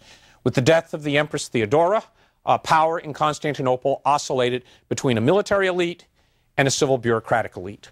Uh, there were a succession of emperors, none of whom could keep control of the capital. Uh, the Turkish raids intensified. Uh, the uh, Eastern Army who put two candidates on the throne, um, a fellow by the name of Isaac in 1057, 1059, and then a second one, a fellow by the name of Romanus IV, uh, um, uh, Diogenes, who's who is from a, a great uh, military family, uh, were determined to take on the Turks and stop these raids. It was their estates that were being damaged. They were undermining uh, uh, imperial defenses in Armenia and along the eastern frontier. So in 1068, the second military candidate is put on the throne. He has no real dynastic connections. He marries the previous, uh, the wife of the previous emperor, who himself was a bureaucrat, um, Constantine Dukas. Uh, he knows he has to win a decisive victory to stop these raids, and he carries out a series of complicated campaigns in eastern Turkey. Uh, actually, really, it's Transcaucasia. It's the historic Armenian heartland. And these uh, campaigns climax uh, with a major campaign in 1071. Romanus recruited as large of an army as he could. And we have several different accounts on, on, on this battle and this campaign. And Romanus, by the time he came to the throne in 1068, faced some really serious problems. The fiscal crisis was really quite beyond belief. Imperial government's money was being debased at an ever rapid rate. The military system had apparently broken down. We're not quite sure what happened. But by the time Romanus launched his campaigns against the Turks, the old theme armies were no longer operating as the way we understood them, nor were those field armies created by Basil II. A good deal of Romanus's army seemed to be mercenaries, including a large contingent of Normans, also Franks, and Pechenegs, that is, Turkish uh, horse archer warriors uh, from southern Russia. Uh, there were also contingents from the European provinces, Slavs, who were often appreciated for their military value. But the army that Romanus marched out to face the Turks was an army that had never fought together. It had no traditions of victory, no tr- traditions of cooperation. It was assembled from de- various um, uh, contingents uh, quickly. Uh, it is an achievement that Romanus was able to put it together. Second, he faced a daunting uh, task of marching all the way out uh, to eastern Turkey, and he could only campaign out in these areas in June, July, and August, and then get back to the capital because there was constant plotting. So it is a real question whether, even if Romanus won this battle, uh, he would have been able to restore the empire. But in any case, it didn't happen. Uh, in August of 1071, Romanus's army, uh, just north uh, east of Lake Van today, encountered forces of the then reigning Sultan, uh, Alp Arslan. Uh, there was some cavalry skirmishes. Uh, the next day, Romanus's army draws up in battle to bring the Turks uh, to close order fighting. Romanus thinks that there is a second relief col column marching on to his assistance. Unfortunately, that column was not marching to his assistance. It had deserted. Uh, furthermore, Romanus's army fought all day, marching, countermarching, trying to bring the Turks to bear. Uh, the Turks skirmished with their traditional tactics, and it's a tribute that Romanus kept his forces together for so long. But towards the end of the day, Romanus decided to break camp and move back. In the uh, turn, there was some mistakes made, gaps opened up, the Turks counterattacked, the army collapsed. It was slaughtered. The emperor was captured. Uh, in the next 10 years, the Seljuk Turks began to overrun Asia Minor. Uh, once the, the emperor is actually released uh, for a huge uh, uh, ransom uh, and is, goes back to Constantinople and is immediately deposed. but the, um, the result of this victory was to open up Asia Minor to the Seljuk Turks, and who began to colonize and set up capitals at Sivas, at Konya, uh, at Niksar in central Turkey and set up a Muslim, Muslim states in what was the traditional heartland of the Byzantine Empire. Well, this was desperate. At the same time, the Normans have taken Italy and are attacking Greece. And in the confusion, in the 10 years after the Battle of Manzikert, where this disaster took place in, in, in eastern Armenia, uh, a succession of civil wars were fought that complicated it. Uh, and in 1081, the empire's situation is such that one noted historian, Stephen Runciman, who wrote a magisterial work of the Crusades and is highly recommended for the narrative of the Crusades, stated that the state of the empire in 1081 was such that only a man of great courage or great stupidity would have undertaken its government. Well, I would add they were lucky it was a man of great intelligence. Because out of these civil wars, a fellow by the name of Alexis I, Comnenus, from a leading family in Asia Minor seized power. He would beat off the Normans, he would check the Turks, he would overhaul administration and currency, and it would be he who would set out the summons to the Western Europeans. Now, what he wanted were Western European mercenaries. What he got was the First Crusade.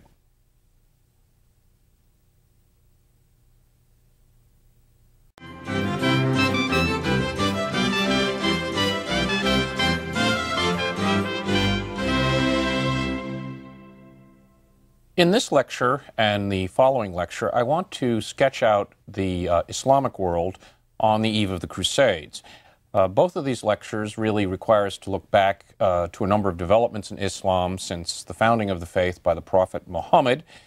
And uh, this lecture, wish in this lecture, I wish to uh, uh, outline the development of Islamic institutions from the Prophet through the early Abbasid Caliphate. Uh, these are the successors of Muhammad who ruled at Baghdad. The uh, Islamic Empire in the 11th century, as well as the Chinese Empire, were probably the most successful civilizations on the Eurasian landmass. Uh, and in 1095, when the Crusaders uh, trekked, uh, were 1096, they were Crusade was called in 1095, but in 1096, when the Crusaders trekked east, many of the lands uh, through which they passed, the Islamic lands, were under the authority of the Abbasid Caliph. Uh, the Abbasid Caliphate, uh, to this day, uh, among most mo Muslims, is seen as a golden age, uh, and rightly so, for a variety of reasons. So, in this particular lecture, I would first uh, sketch out the developments, political developments, military, institutional developments from the time of the Prophet to the founding of the Abbasid Caliphate, which centered their capital at Baghdad in Iraq and in so doing, uh, in many ways, became heirs to the Near Eastern uh, administrative, uh, uh, religious, and institutional traditions that stretch back to the earliest civilizations of Mesopotamia. Uh, then I want to look at some of the achievements of this empire, with particular stress on the diverse religious community that you had in the Abbasid Caliphate.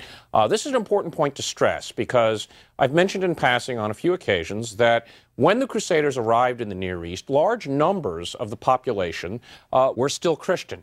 There were also significant Jewish uh, communities, and, the, and in the eastern lands of Islam, uh, many were Zoroastrians or Buddhists, uh, even certain pagan uh, uh, groups, which were legitimized under the Quran, were also existing in large numbers. For instance, in the city of Haran, ancient Carrhae, there was a pagan group known as the Sabaeans who somehow got themselves uh, legitimated under the Quran, a Quranic passage, and were therefore classified as people of the book, uh, dhimmi, dhimmi who were protected under Islamic law. Then the third point is to look at the political fragmentation of the Abbasid Caliphate. Uh, ironically, uh, the vision of Muhammad, which I had stressed in several earlier lectures, of a single ummah, community of believers, uh, was fragmented by the time the Crusaders arrived. Uh, there were at least two major candidates for caliph, successor. Uh, one, the Fatimid caliphs in Cairo, the other, the, uh, the Abbasid caliphs in Baghdad. And this fragmentation of the political and religious authority in the Near East in um, the time of the First Crusade was a significant factor in the success of the Crusaders. And uh, with that, uh, we'll um, uh, close this lecture uh, with uh, some thoughts on why this division took place. Now, uh, Muhammad claimed to be the last of a series of prophets uh, in succession from the Hebrew prophets, the Christian prophets. Uh, in the Islamic tradition, Isa, uh, that is Jesus, is regarded as the last and greatest of prophets. Uh, and uh, his mother Mary is also venerated in the Islamic tradition. Uh, I do extensive work in Turkey, and even to this day, uh, there's a tradition around shrines of Mary, early Christian shrines of Mary, of Turkish Muslims tying uh, white paper or uh, cloth uh, to shrubs as a way of uh, ensuring successful childbearing. It's, uh, uh, it's an ancient appeal that goes back to Christian times, carried over into later Muslim times. So that from the start, approximately 610, when Muhammad began to have his visions, Muhammad saw himself as standing very much in the tradition of the Hebrew prophets. Uh, at the time, Mecca was a leading caravan center in Western Arabia. Uh, it was also uh, home to an important uh, Jewish community, and there are a number of disputes to understand exactly where Muhammad got uh, some of his notions. Uh, but uh, Muslims very quickly came to believe that his sayings, so called surah, which were codified and eventually published in the Quran, were the direct word of God, the direct manifestation of God's will. And Muhammad's preachings were fairly straightforward. Uh, they uh, reacted to the pagan cults, uh, especially centered around the Kaaba, which was later rededicated as, as an Islamic center, uh, blood sacrifice, um, uh, various other types of, of offensive rites that were, were associated with these ancient cults. and he called for a purification of belief, a return to the single God of Abraham, and the submission to God's will. That is Islam submission. A Muslim is one who submits. Uh, many uh, Christian accounts call uh, their opponents uh, Mohammedans. That's, that's really a misnomer and rather offensive to many Muslims. Uh, that implies they worship uh, Mohammed, which no Muslim would ever claim. they worship God. In any case, Muhammad's teachings were not received very successfully in Mecca. he was driven out in 622. He fled to the city of Medina uh, which is uh, to the north of uh, Mecca and a commercial rival. And uh, at Medina, uh, Muhammad uh, had been invited there actually by a group of merchants from Medina, he and his early followers. Muhammad continued to have revelations, and this is a very significant point. some of these revelations were also connected with what Muslims would call the Sharia, that is the law, the tradition. And from the start, Muhammad's vision was not that uh, uh, of just a prophet, but also of a statesman. Uh, forming a single community, an ummah, the Medinans and the uh, the Meccans who had followed uh, Muhammad uh, eventually prevailed in a series of desultory wars, uh, and Mecca capitulated to the Prophet. Uh, and in 630, 632, uh, Mecca was brought in. The various Arabian tribes so, submitted to Muhammad and recognized him as God's prophet. Now, many of these Muslim tribes probably still retain traditional religious practices. We're not sure what all of these uh, submissions meant. Uh, but the significant fact is that for the first time in Arabian history, uh, there was a community that transcended uh, the typical boundaries of just blood and kin. Uh, from Muhammad's teaching, a series of successors, since Muhammad left no sons, uh, known as the uh, Rashidun or rightly guided caliphs, uh, directed the expansion of the Islamic Empire. the expansion was nothing short of spectacular.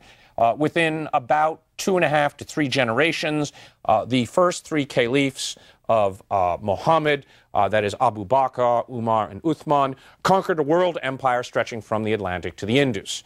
Uh, and in the fourth generation, uh, is, uh, governors of the Islamic Empire uh, pushed into Spain, pushed into Central Asia, and conquered the Indus Valley, that is the former heartland of Hindu civilization.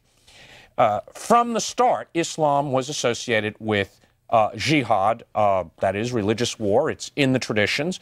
Uh, there was a distinct division uh, between uh, Dar al Islam, that is the house of the believers, the house of Islam, those who submitted to the will of God, and Dar al Harb, that is the, uh, the, um, the house or the abode of war.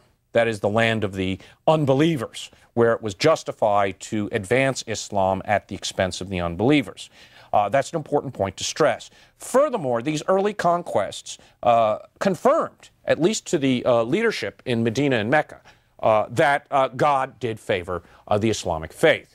And by the 11th century, at the time of the Crusades, there was very little doubt that Islam as a world religion had impressive credentials to it. the military victories of the 7th and 8th century alone catapulted this religion to world preeminence. Now, what happened uh, in the Islamic world is this succession crisis complicated uh, the situation uh, quite quickly.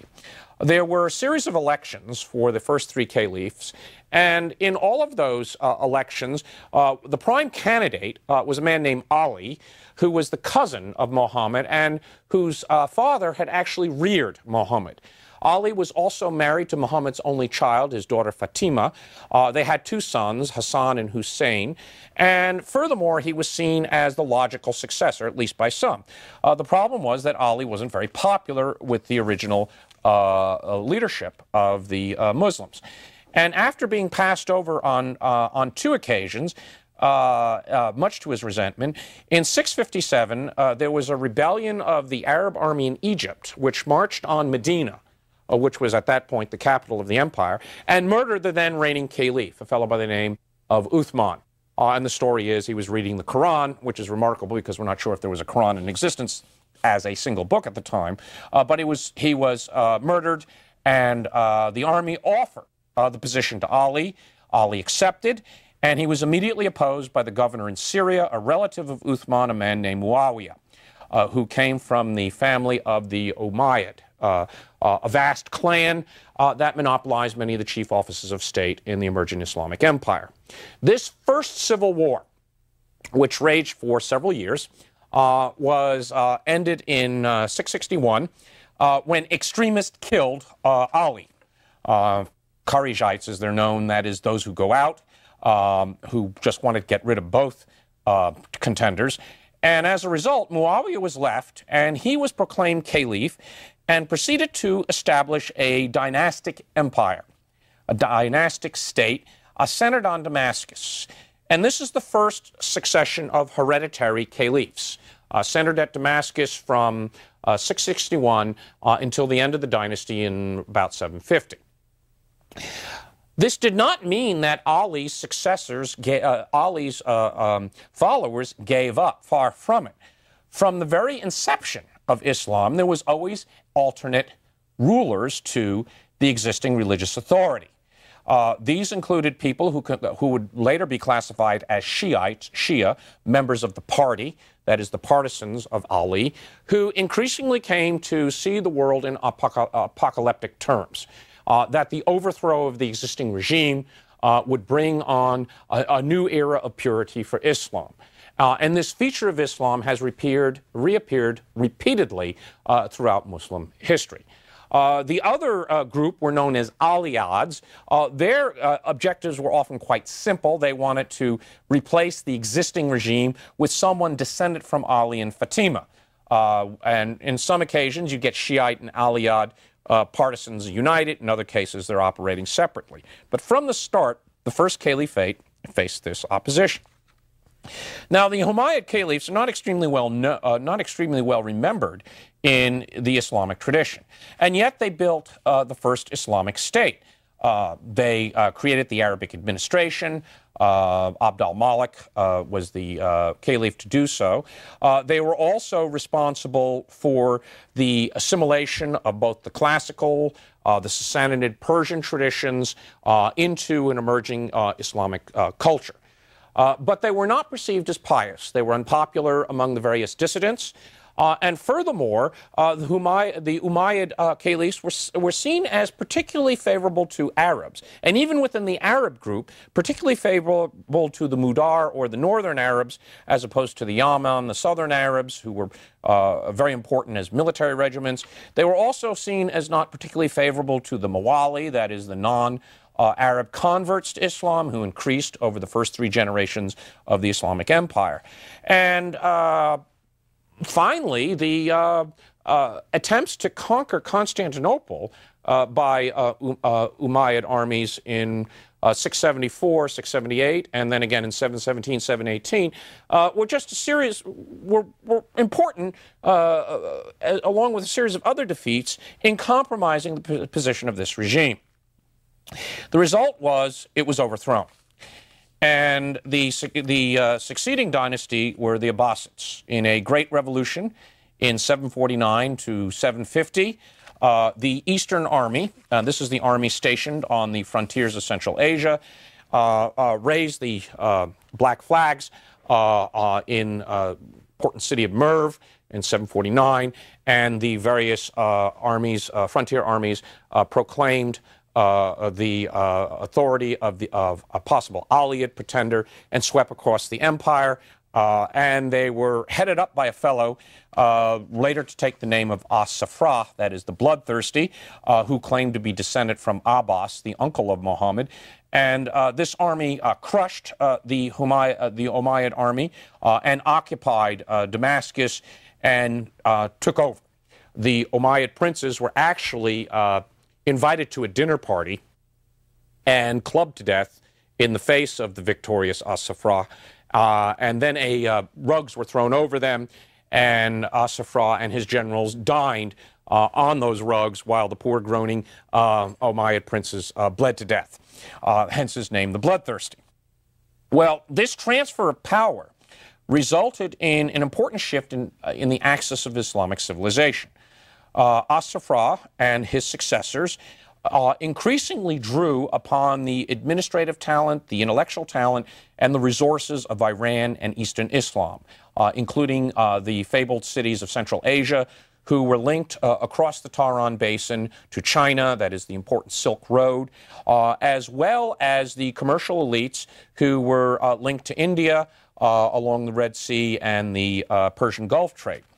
Uh, Uh, to this end, there was uh, uh, the establishment by the second uh, Abbasid uh, uh caliph, uh, Al Mansur, a new capital at Baghdad on the Tigris River, an immense undertaking. It took many, many years to construct.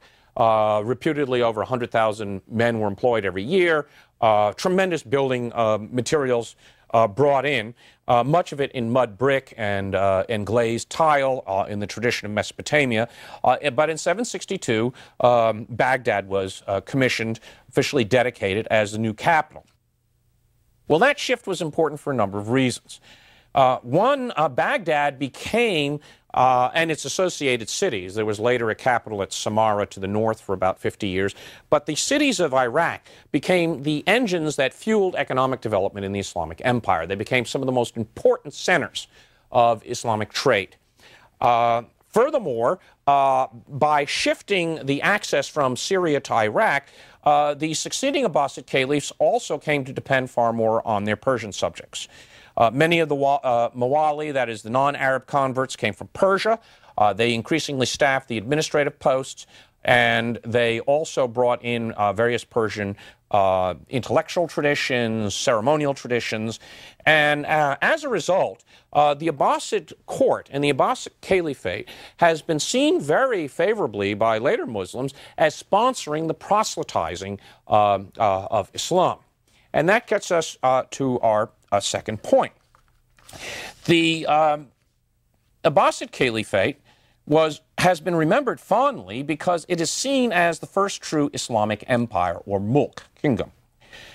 Uh, not only did the uh, Abbasid caliphs rest their authority on these non Arab uh, specialists for their administration, they also came to base their military authority on uh, mercenaries and very often slave soldiers uh, recruited along the frontiers especially Turks, but also Kurds, uh, Europeans who were bought uh, from the slave markets, uh, often people of Slavic origin, Berbers in Western Africa, uh, black Africans, all being bought and brought into uh, the slave armies of the Abbasid Caliph. And uh, why not? These men would be purchased at the age of 14 or 15, trained as Muslims.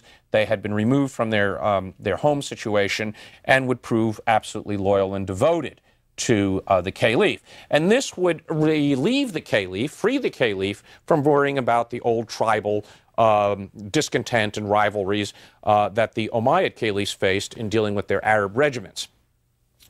In addition, uh, the Abbasid caliphs promoted uh, conversion to is, uh, Islam. Uh, there's an enormous amount of debate as to the policy of the first uh, Islamic caliphs toward the non Muslim populations. It was probably dictated largely by pragmatism. In the initial stages of the conquest, cities that surrendered on terms, and most of them did, uh, were simply uh, not touched.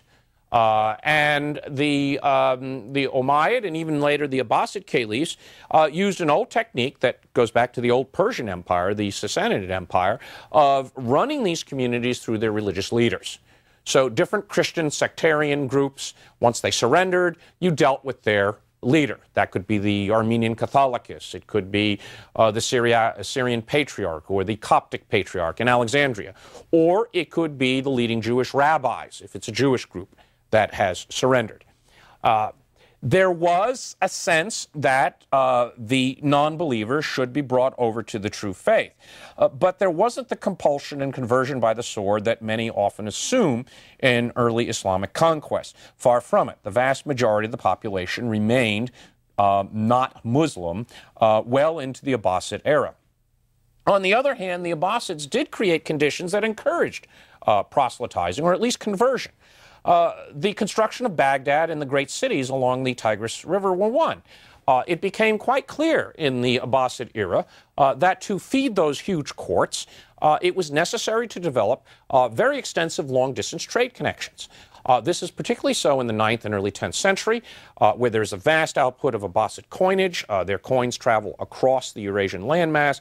And this was because all sorts of commodities uh, slaves, uh, exotic commodities, uh, building material, uh, silks from China were all being brought into these centers. Uh, by 900, Baghdad was at least a million strong.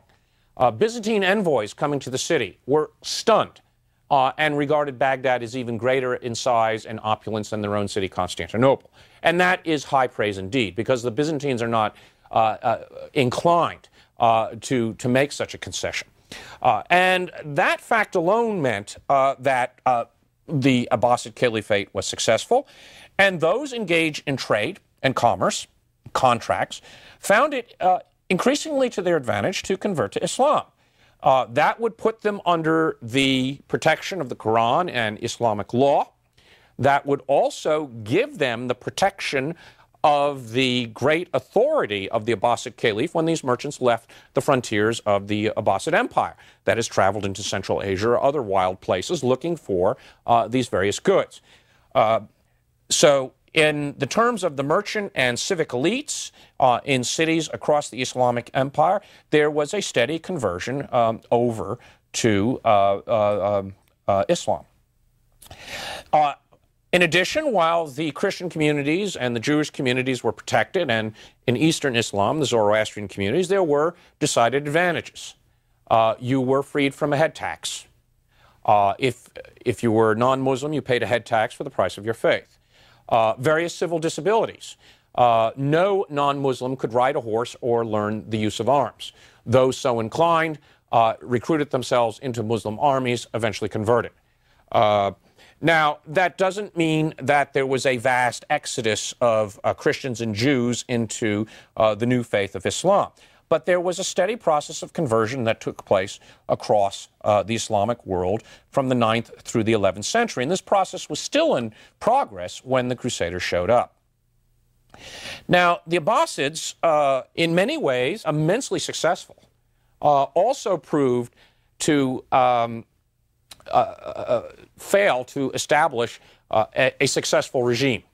and the Abbasid dynasty didn't so much fall as their empire began to fragment in the ninth century.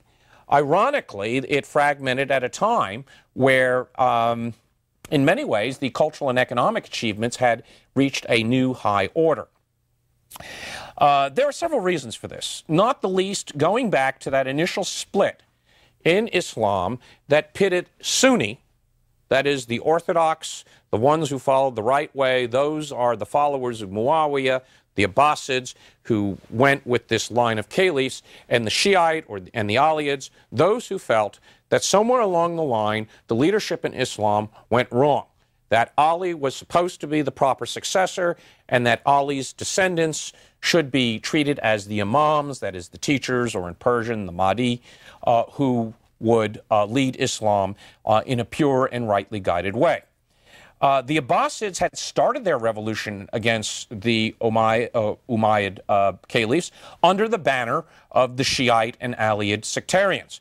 But once they took power, they had jettisoned that group uh, and, and had liquidated them just as ruthlessly as they had liquidated the Umayyad and took power in their own name. So these groups continued uh, to remain in opposition. And if anything, they flourished. The development of uh, cities and trade connections allowed Shiite and Aliyid groups uh, to set up cells in cities across the Islamic world. These sectarian groups also became quite popular among non Arab populations, particularly in the fringes. Uh, they gained great successes in converting Berbers in Morocco um, and various tribal groups in the Yemen. So there was always within the uh, Abbasid Caliphate uh, these sources of discontent. Uh, as sectarians, they also disputed among themselves exactly what was the right way. Uh, there was a significant split in this uh, Shiite group that occurred in six, 765 when the sixth descendant from Hussein, who was uh, one of the sons of Ali, the second son of Ali, and was regarded as the next successor after Ali. That uh, with uh, his his name was Jafar. That he had two sons, uh, one of them Ishmael uh, and another one Musa, and.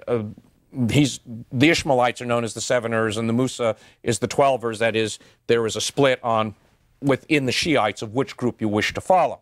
Uh, the Twelvers, for instance, are now uh, the basis for many of the Shiite groups in Iran and Iraq today. Uh, that was the group that followed Musa in his succession uh, down to 873 when the Imam disappeared and a uh, reign of hidden Imams followed. Uh, the invisible Imams who were awaited at the end of the days at the great apocalypse. Um, Ishmael's followers, on the other hand, believed that um, he was the rightful successor, and they organized themselves into a variety of groups. The most famous of them are known as the Nizarites, or more popularly known as the Assassins, who uh, emerged in the 11th century and uh, were extremely good in infiltrating and killing Sunni uh, magistrates and rulers that they found offensive. Uh, they had a major fortress at Alamut uh, in the Elburz Mountains just south of the Caspian, and were notorious for hitting, uh, sending out hit squads uh, against any um, Sunni ruler uh, they found offensive. They actually were very good at doing crusaders, too. Um, I think it was in 1152 where two two assassins disguised as monks uh, killed Count Raymond II at high mass. Very, very good deal. Well, uh, finally, uh, one of the most remarkable of these uh, dissident groups were the Fatimids, uh, whom I've mentioned before. Uh, the Fatimids were very much within this line of tradition of Shiites and Aliyids. Uh, they traced their descent back to Ali and Fatima, hence the name Fatimid. They were descended from Ali and the one and only daughter of Muhammad. And in 909, uh, the leader Al Mahdi, which is simply means the inspired one, came out of hiding in Morocco, rallied various Berber forces, and swept across North Africa.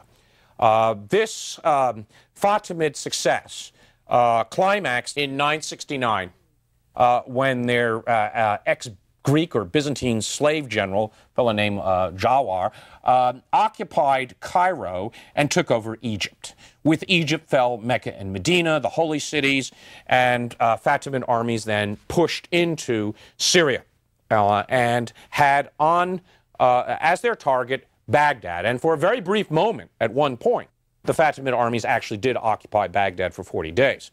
Uh, this stunning success meant that the Sunni uh, Abbasid caliphs in Baghdad for the first time faced a really serious Shiite um, uh, opponent.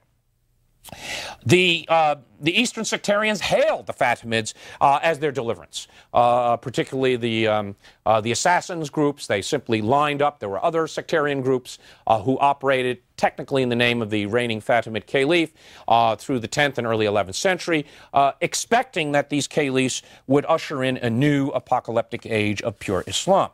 Well, unfortunately, their expectations were not met. Uh, while uh, Al, um, Muiz, who was the caliph who moved the government to Cairo in, in 973, officially the Fatimids assumed a position in Cairo, uh, this government very quickly uh, settled into the administrative and, uh, and political traditions of the Near East. Uh, by the early 11th century, certainly by the reign of the notorious Caliph al Hakim, who uh, signed that treaty with Basil II, uh, the Fatimid caliphs were ruling essentially as uh, the Shiite version of the Abbasid caliphs. Both regimes had uh, caliphs as figureheads. Both regimes had powerful uh, ministers, viziers, uh, military officials. In the case of the Abbasids, these would be Turkish officers. In the case of the uh, Fatimid Caliph, uh, these were often Greek, Slavic, or Berber officers, that is, slave soldiers, who ran the governments. And uh, this, of course, disenchanted the uh, more extreme sectarians. And in a way, by the mid 11th century, uh, the Islamic world was now in a political and religious stalemate. the ideal of a single authority, a single ummah, uh, in the hands of, the, of a caliph, a descendant from Muhammad, uh, had been shattered. Uh, there were now two such caliphs. There's actually a third one. In 929, there was a, a caliphate set up in Spain, but it was so on the periphery that most Muslims probably didn't pay attention to it. Um, and um, this stalemate would only be broken by an unexpected change, and that is by the arrival, the migration of the Seljuk Turks of Central Asia who would sweep through the Near East, uh, restore the authority of the Abbasid Caliph, and take on the Fatimid Caliph uh, in the name of Islam. And with the Seljuk Turks came not only a rejuvenation of Islam, but also the decisive attack on the Byzantine Empire that brought down uh, the Byzantine state and ushered in the Crusades.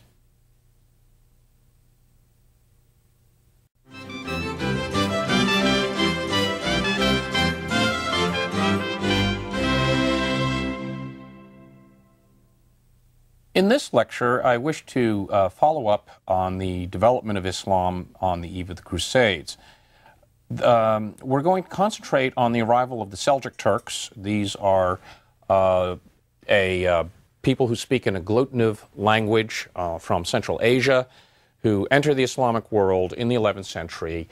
Uh, in some ways, they're quite destructive, but in the political and military sphere, they're responsible for regenerating the authority of the Abbasid Caliphate. Uh, in the last lecture, I had concluded with the Islamic world as essentially divided between, between two great uh, authorities, the uh, Fatimid Caliphate in Cairo and the Abbasid Caliphate in Baghdad. And the breaking of this political deadlock or stalemate was a result of the Seljuk Turks who entered into the Middle East and gave their loyalty to the caliphs of Bag- Baghdad and restored Sunni Islam, the authority of the Abbasid caliphs, and um, regenerated Islamic military power. Uh, this is the first of uh, the important steppe nomads of Central Asia who swept into the Middle East during the Middle, Middle Ages and transformed society. Uh, there will be another uh, great such migration in the 13th century, that is the Mongols, will appear later in this series, uh, and they will not be so friendly to Islam as we shall see. But in the 11th century, the Seljuk Turks arrived as recent converts. Uh, they identified with Sunni Islam, and therefore, uh, what I'd like to start with is sketching who these Seljuk Turks are, uh, why they embraced uh, Islam, uh, what made them so inclined, and then to look at the careers of the great uh, Seljuk sultans, uh, those would be um, uh, the Sultan uh, Bey, uh, uh, his nephew Alp Arslan, and finally Malik Shah, uh, who were responsible for rejuvenating Islamic power, and then conclude with what the implications of this new Seljuk Sultanate was for not only the Byzantine world, but also for the Western Europeans, and why the arrival of the Seljuk Turks are really responsible for the launching of the Crusades. Well, let's get to the first question, and that is the matter of who are these Seljuk Turks. Uh, certainly, uh, sometime between the late 4th and the 7th centuries AD, there was, if not a demographic, certainly a linguistic change on the great Eurasian steppes uh, that stretch from uh, the Danube all the way to the boundaries of northern China. Uh, on these steppes, traditionally, there were uh, nomadic peoples, perhaps beginning in the early Iron Age, who had learned how to um, practice uh, the seasonal pastoralism associated uh, with steppe nomads. And this is a very complicated uh, pattern of using land that is following um, the seasons in order to herd your animals, horses, uh, goats, sheep, and they became quite expert in exploiting the land to sustain their herds. Uh, initially, the steppe nomads, at least in the western arm of, uh, of the, that great steppe zone going from the Danube to, say, Central Asia, stretching across southern Russia today, uh, were uh, primarily inhabited by people who spoke Iranian dialects. But in the early Middle Ages, these people were displaced by people speaking Turkic languages, and we think the first of these were actually the Huns.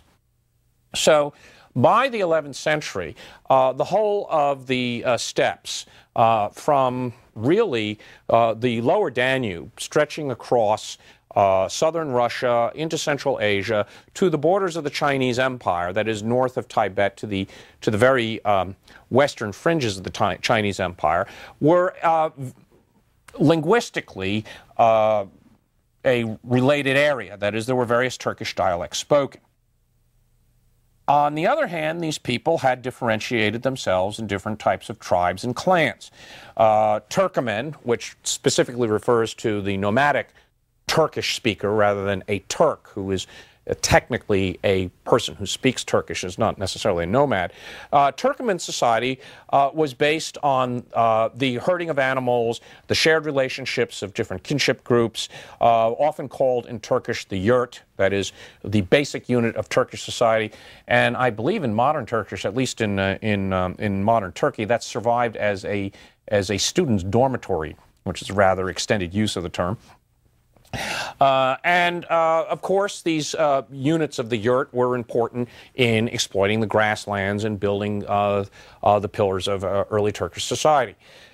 When the Islamic armies overran the Sassanid Empire of Persia in the 7th century and reached the great rivers of the Jaxartes and Oxus, which are the two great eastern rivers that separate the Iranian world uh, from the central steppes. And they occupied the great caravan centers of Burr, Bukhara, and Samarkand. Uh, the um, Islamic armies were now uh, the heirs to a problem which Persian shahs had faced, and that is how to secure this eastern frontier.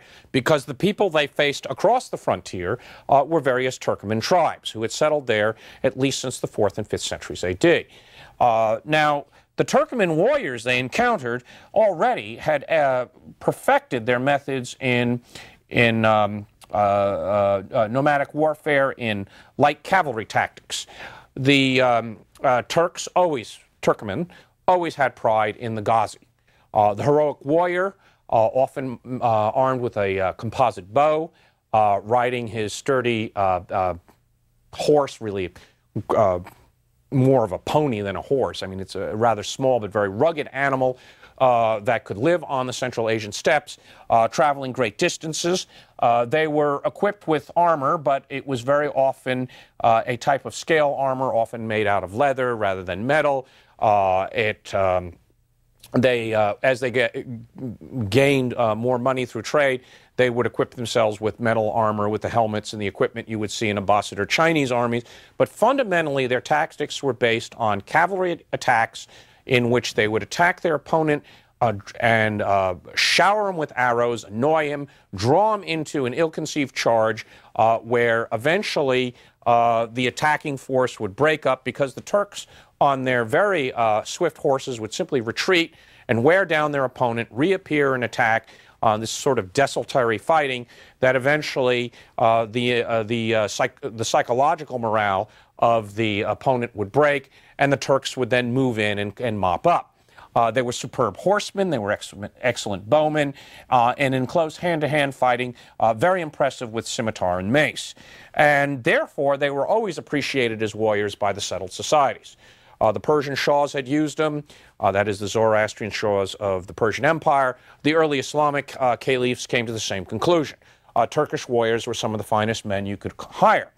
And many of the eastern armies of Islam uh, had large uh, regiments of Turkish uh, soldiers. Now, sometimes these fellows were recruited as tribal regiments. Uh, but very frequently, starting in the 9th and 10th century, uh, they were also purchased as slaves. Uh, this was because there was endemic fighting among the um, various Turkoman tribes of Central Asia, and the victims were usually the defeated in such wars, and they were simply sold off. Uh, and young men were prized. They were brought in, uh, purchased at certain slave markets in Central Asia. These Turks were then removed into Baghdad. Uh, there was actually a very powerful Turkish bodyguard in the Abbasid Caliphate, uh, which tended to do such things as riot, kill caliphs, and, and dominate politics. But uh, the military power of the Turks was already long recognized before the Seljuk Turks actually arrived in the Middle East in force. In addition, uh, the uh, Turks of uh, Central Asia uh, found Islam very congenial. Now, obviously, many of them may have picked it up as they entered into military service, but there was extensive trade. Uh, that connected these cities of uh, northeastern Iran and the cities of Central Asia uh, with the Chinese Empire, stretching across this great Tarim Basin, which is the link, which means the caravans usually skirted uh, the western and northern edges of Tibet. They steered clear of Tibet and entered into China to get silks and various other goods and bring them back uh, in the other direction. And these trade routes needed protection. Uh, Turkmen tribes hired themselves out uh, to defend caravans or extorted blackmail. It was often more a matter of degree whether you were hired or hiring them or paying blackmail. Uh, and uh, as a result, they acquired um, Islam through contact with merchants. As I mentioned in the previous lecture, uh, by the 9th and 10th centuries, many of the merchants had converted to Islam. It was to their advantage in the Abbasid Caliphate. So the Turks saw these merchants as the agents of higher civilization, as coming from the Abbasid Caliph. They also found in the teachings of Islam elements that corresponded with their own beliefs. Uh, most of them seem to have been devoted to their ancestors and had what is often called uh, by anthropologists a shamanist religion, that is, believing in the spirits of the ancestors with shamans who um, could uh, be in communication with the other world, uh, often induced by the use of um, uh, mind altering substances such as hashish and the like. And uh, that meant that the um, uh, the Dashamid, that is the Turkish holy man or spiritual man, could easily be linked to the Islamic Imam or Mahdi, uh, that is, men who had visions uh, of the other world. And uh, this made Islam, in its, in its folk form, very congenial to many of the Turks. Uh, and it's often been put, uh, and this is actually based on the original sources, that the Central Asian steppe nomads, on the whole, uh, were probably destined to convert to Islam uh, because of these uh, religious traditions. And it essentially runs along um, a line of whether you go Christian or whether you go Muslim, and that line is uh, the hashish vodka line. Uh, if you lived in the forest zones of Russia, uh, you were probably going to embrace Orthodox Christianity that allowed for the drinking of vodka. And we're told that in the Russian Primary Chronicle was one of the great attractions of Christianity to the early Russian. But if you were steppe nomad types, uh, Turkish speakers along the steppes, um, then Islam was more congenial since vodka wasn't so important to you. You didn't have to get through the Russian winters. And uh, the traditions of your holy man uh, were easily incorporated into the Islamic traditions, and you tended to incline to Islam. Now, it's not 100%. We have one group of Turkish speakers, the Khazars, in the 9th century. Uh, baffling everyone by converting to Judaism. Uh, but in any case, uh, on the whole, these lines more or less hold in Central Asia. And by the 11th century, uh, many of the Turkish tribes, at least nominally, had embraced some form of Sunni Islam, uh, the Islam that had emanated out of Baghdad. The um, result is that uh, by the opening of the 11th century, as the Islamic world is in this uh, political deadlock, that the Turks were probably one of the most effective military powers on the fringes of the Islamic world. They had already been settled as military colonists in several sections of the Islamic world. In Khorasan, particularly in northern Iran, there were important Turkish uh, settlements, and that settlement was uh, important uh, for a variety of reasons because as the Turks come into contact uh, with the civilized world or the settled world, uh, not only do they pick up Islam, they also pick up various cultural institutions. Uh, that would include uh, everything from rug making to architecture. And those traditions are going to be largely Persian, Iranian. Uh, and when the Turks arrive uh, in the Middle East, they are in some ways the heirs, not only the bringers not only of Sunni Islam, but they're also the bringers of an Iranian based culture in the 11th and 12th century and that will have important implications later.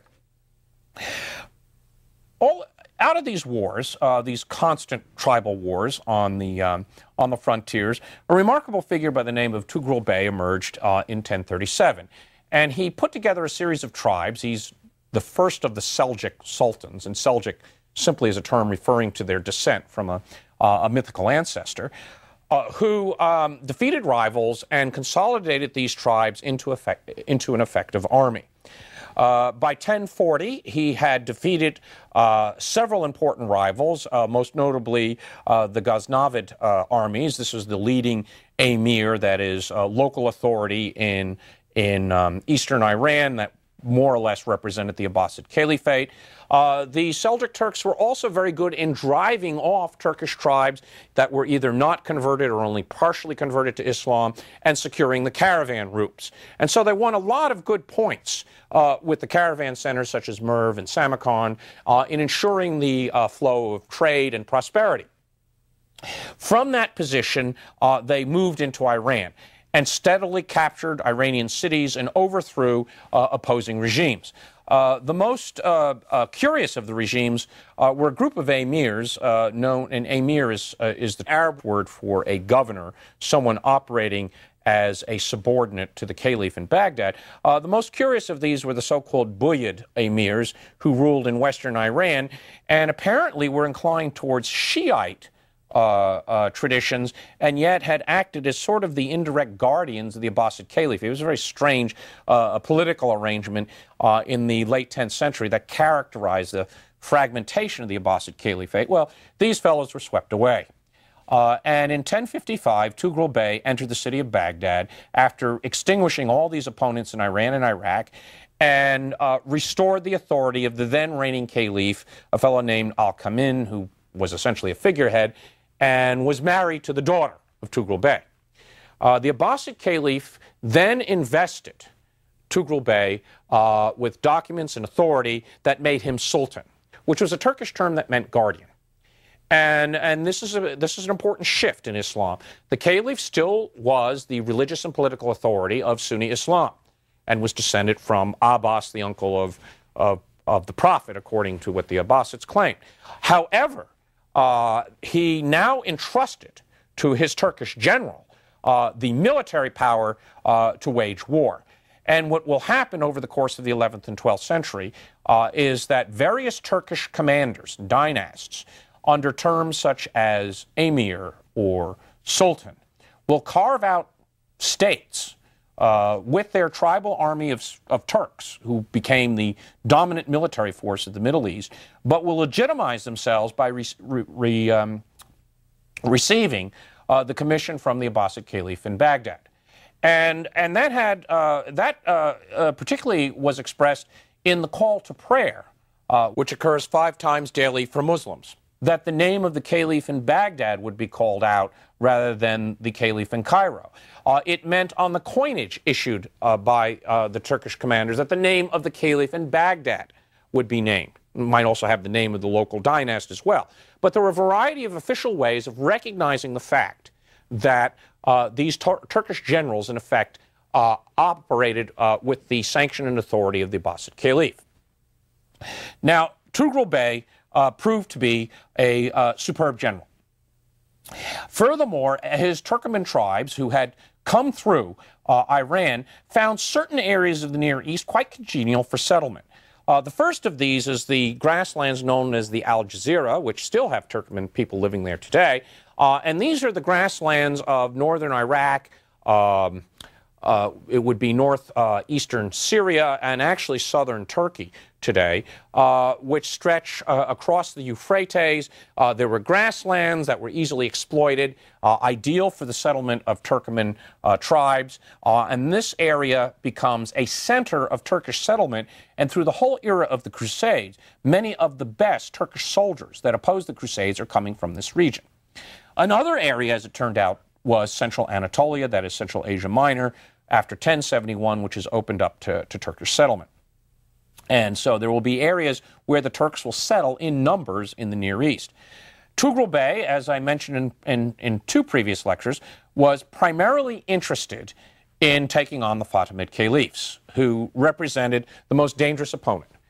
Uh, furthermore, the Fatimids controlled Medina and Mecca, which were the holy cities of Islam and therefore, just by the control of those cities, had some measure of legitimacy.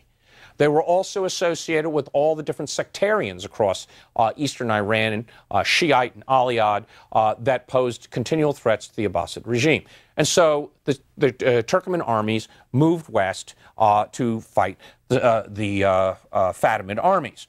And that was always the prime objective of the sultans in Baghdad. Tughril Bey uh, waged a war down to his death uh, in 1063. Then his nephew, Alp Arslan, when he took over, again, primarily focused his attentions on uh, the, um, uh, the Fatimid armies. Uh, and there were some important victories uh, scored in capturing cities in Syria and in Palestine. However, uh, as I mentioned in a previous lecture, the uh, Turkish uh, sultans were also very conscious of the fact that the Fatimids were in alliance with the Byzantines.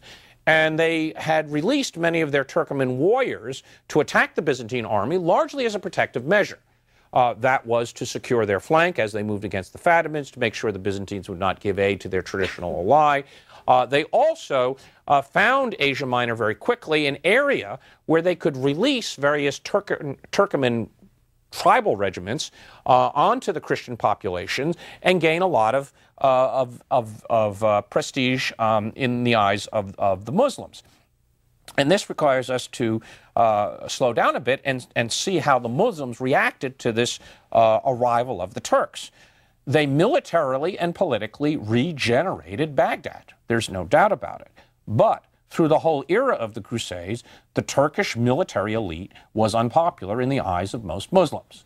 They were seen as disruptive, they were seen as barbarians, they were notorious for drinking, uh, that is, alcoholic beverages, uh, such, as, such as. Uh, their Islam was very suspect in the eyes of many uh, uh, Muslim theologians. Furthermore, they tended to be extremely rapacious. Whenever Turkish armies were settled on, on urban populations, there were always incidents.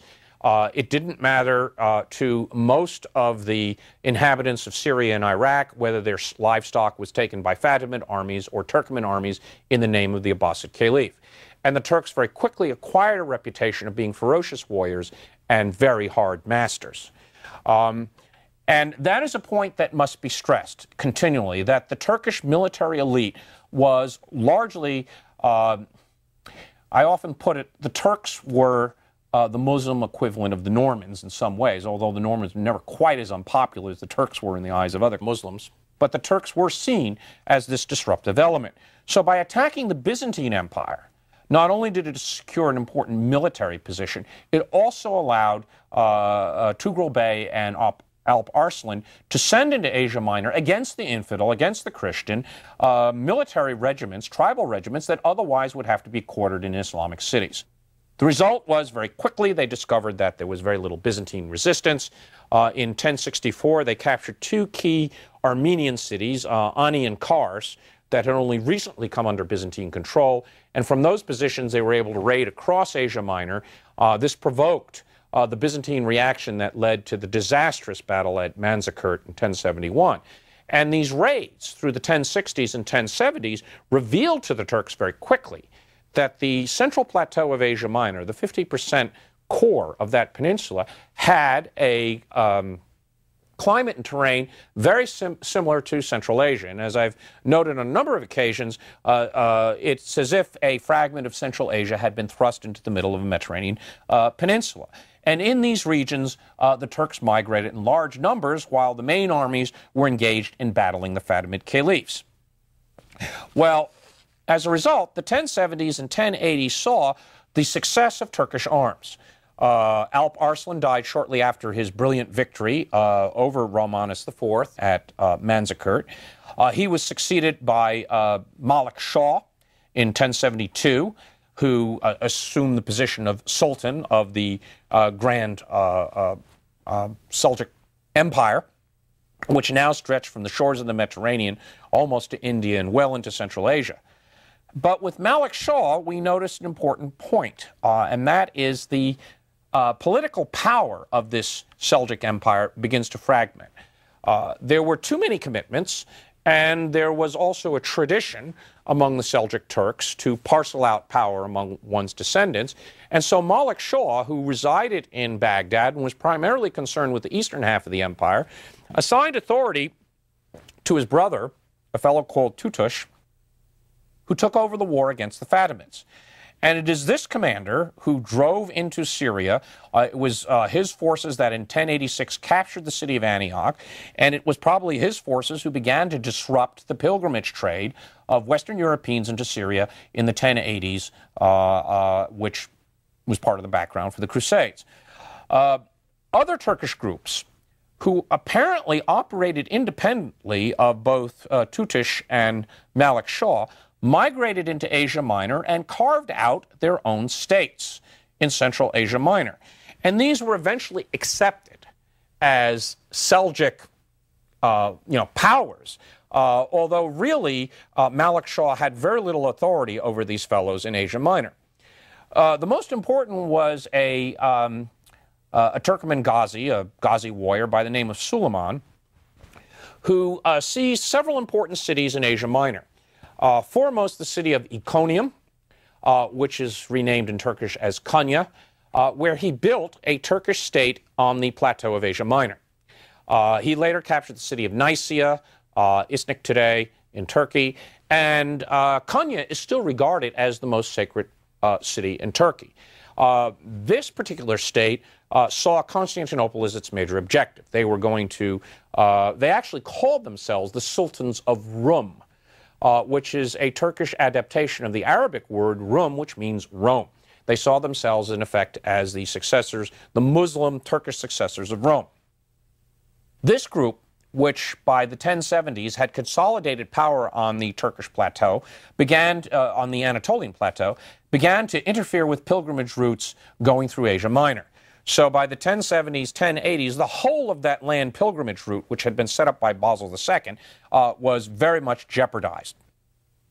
There was a uh, there were a number of Turkish settlers in Asia Minor, but the second important uh, group uh, was a fellow by the name of uh, Malik uh, uh, Danishmend, who seized control of northeastern Turkey and styled himself as an emir, the traditional Arabic term for a governor.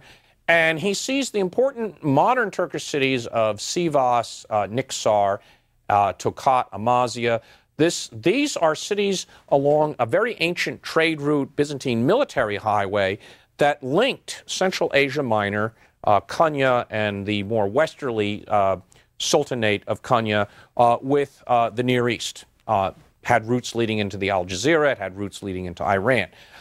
These, this Turkish group became particularly important during the period of the Crusades. Uh, they uh, were the route through which Turkish armies could move from attacks on the Byzantine Empire into Syria and vice versa. And both these states were firmly established uh, by the time the Emperor Alexis I came to the throne uh, in 1081. And both areas uh, are uh, still some of the most conservative areas in Turkey because this is where the original Turkish settlement was. In Syria, uh, the position of the Seljuk Turks became even more complex. Uh, Tutush died in 1095. Uh, and immediately his sons divided authority.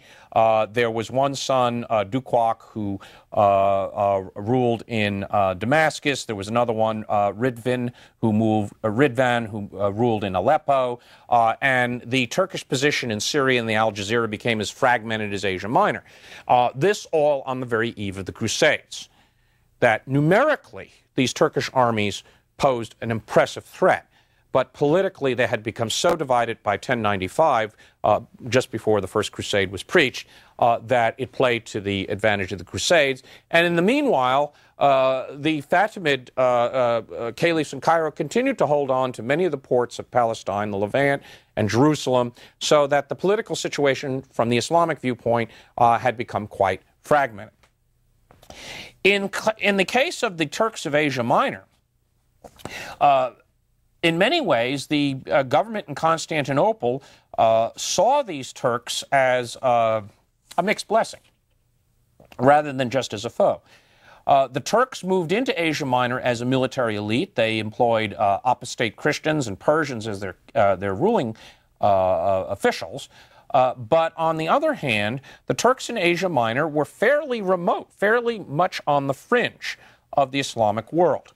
And while the Byzantines did need military aid from the Western Europeans to defeat these Turks and bring them back under their authority, uh, it was not without some reason that the Emperor Alexis I and his successors thought at least the Turks of Asia Minor might be assimilated into the Byzantine com Commonwealth, might be converted. After all, their Islam was very much a folk Islam. It was an attachment to Islam based on identifying traditional shamanist traditions with Islamic traditions. Uh, it was hard to reinforce these, uh, these Turks at, at this point because there was so much fighting going on in the Middle East.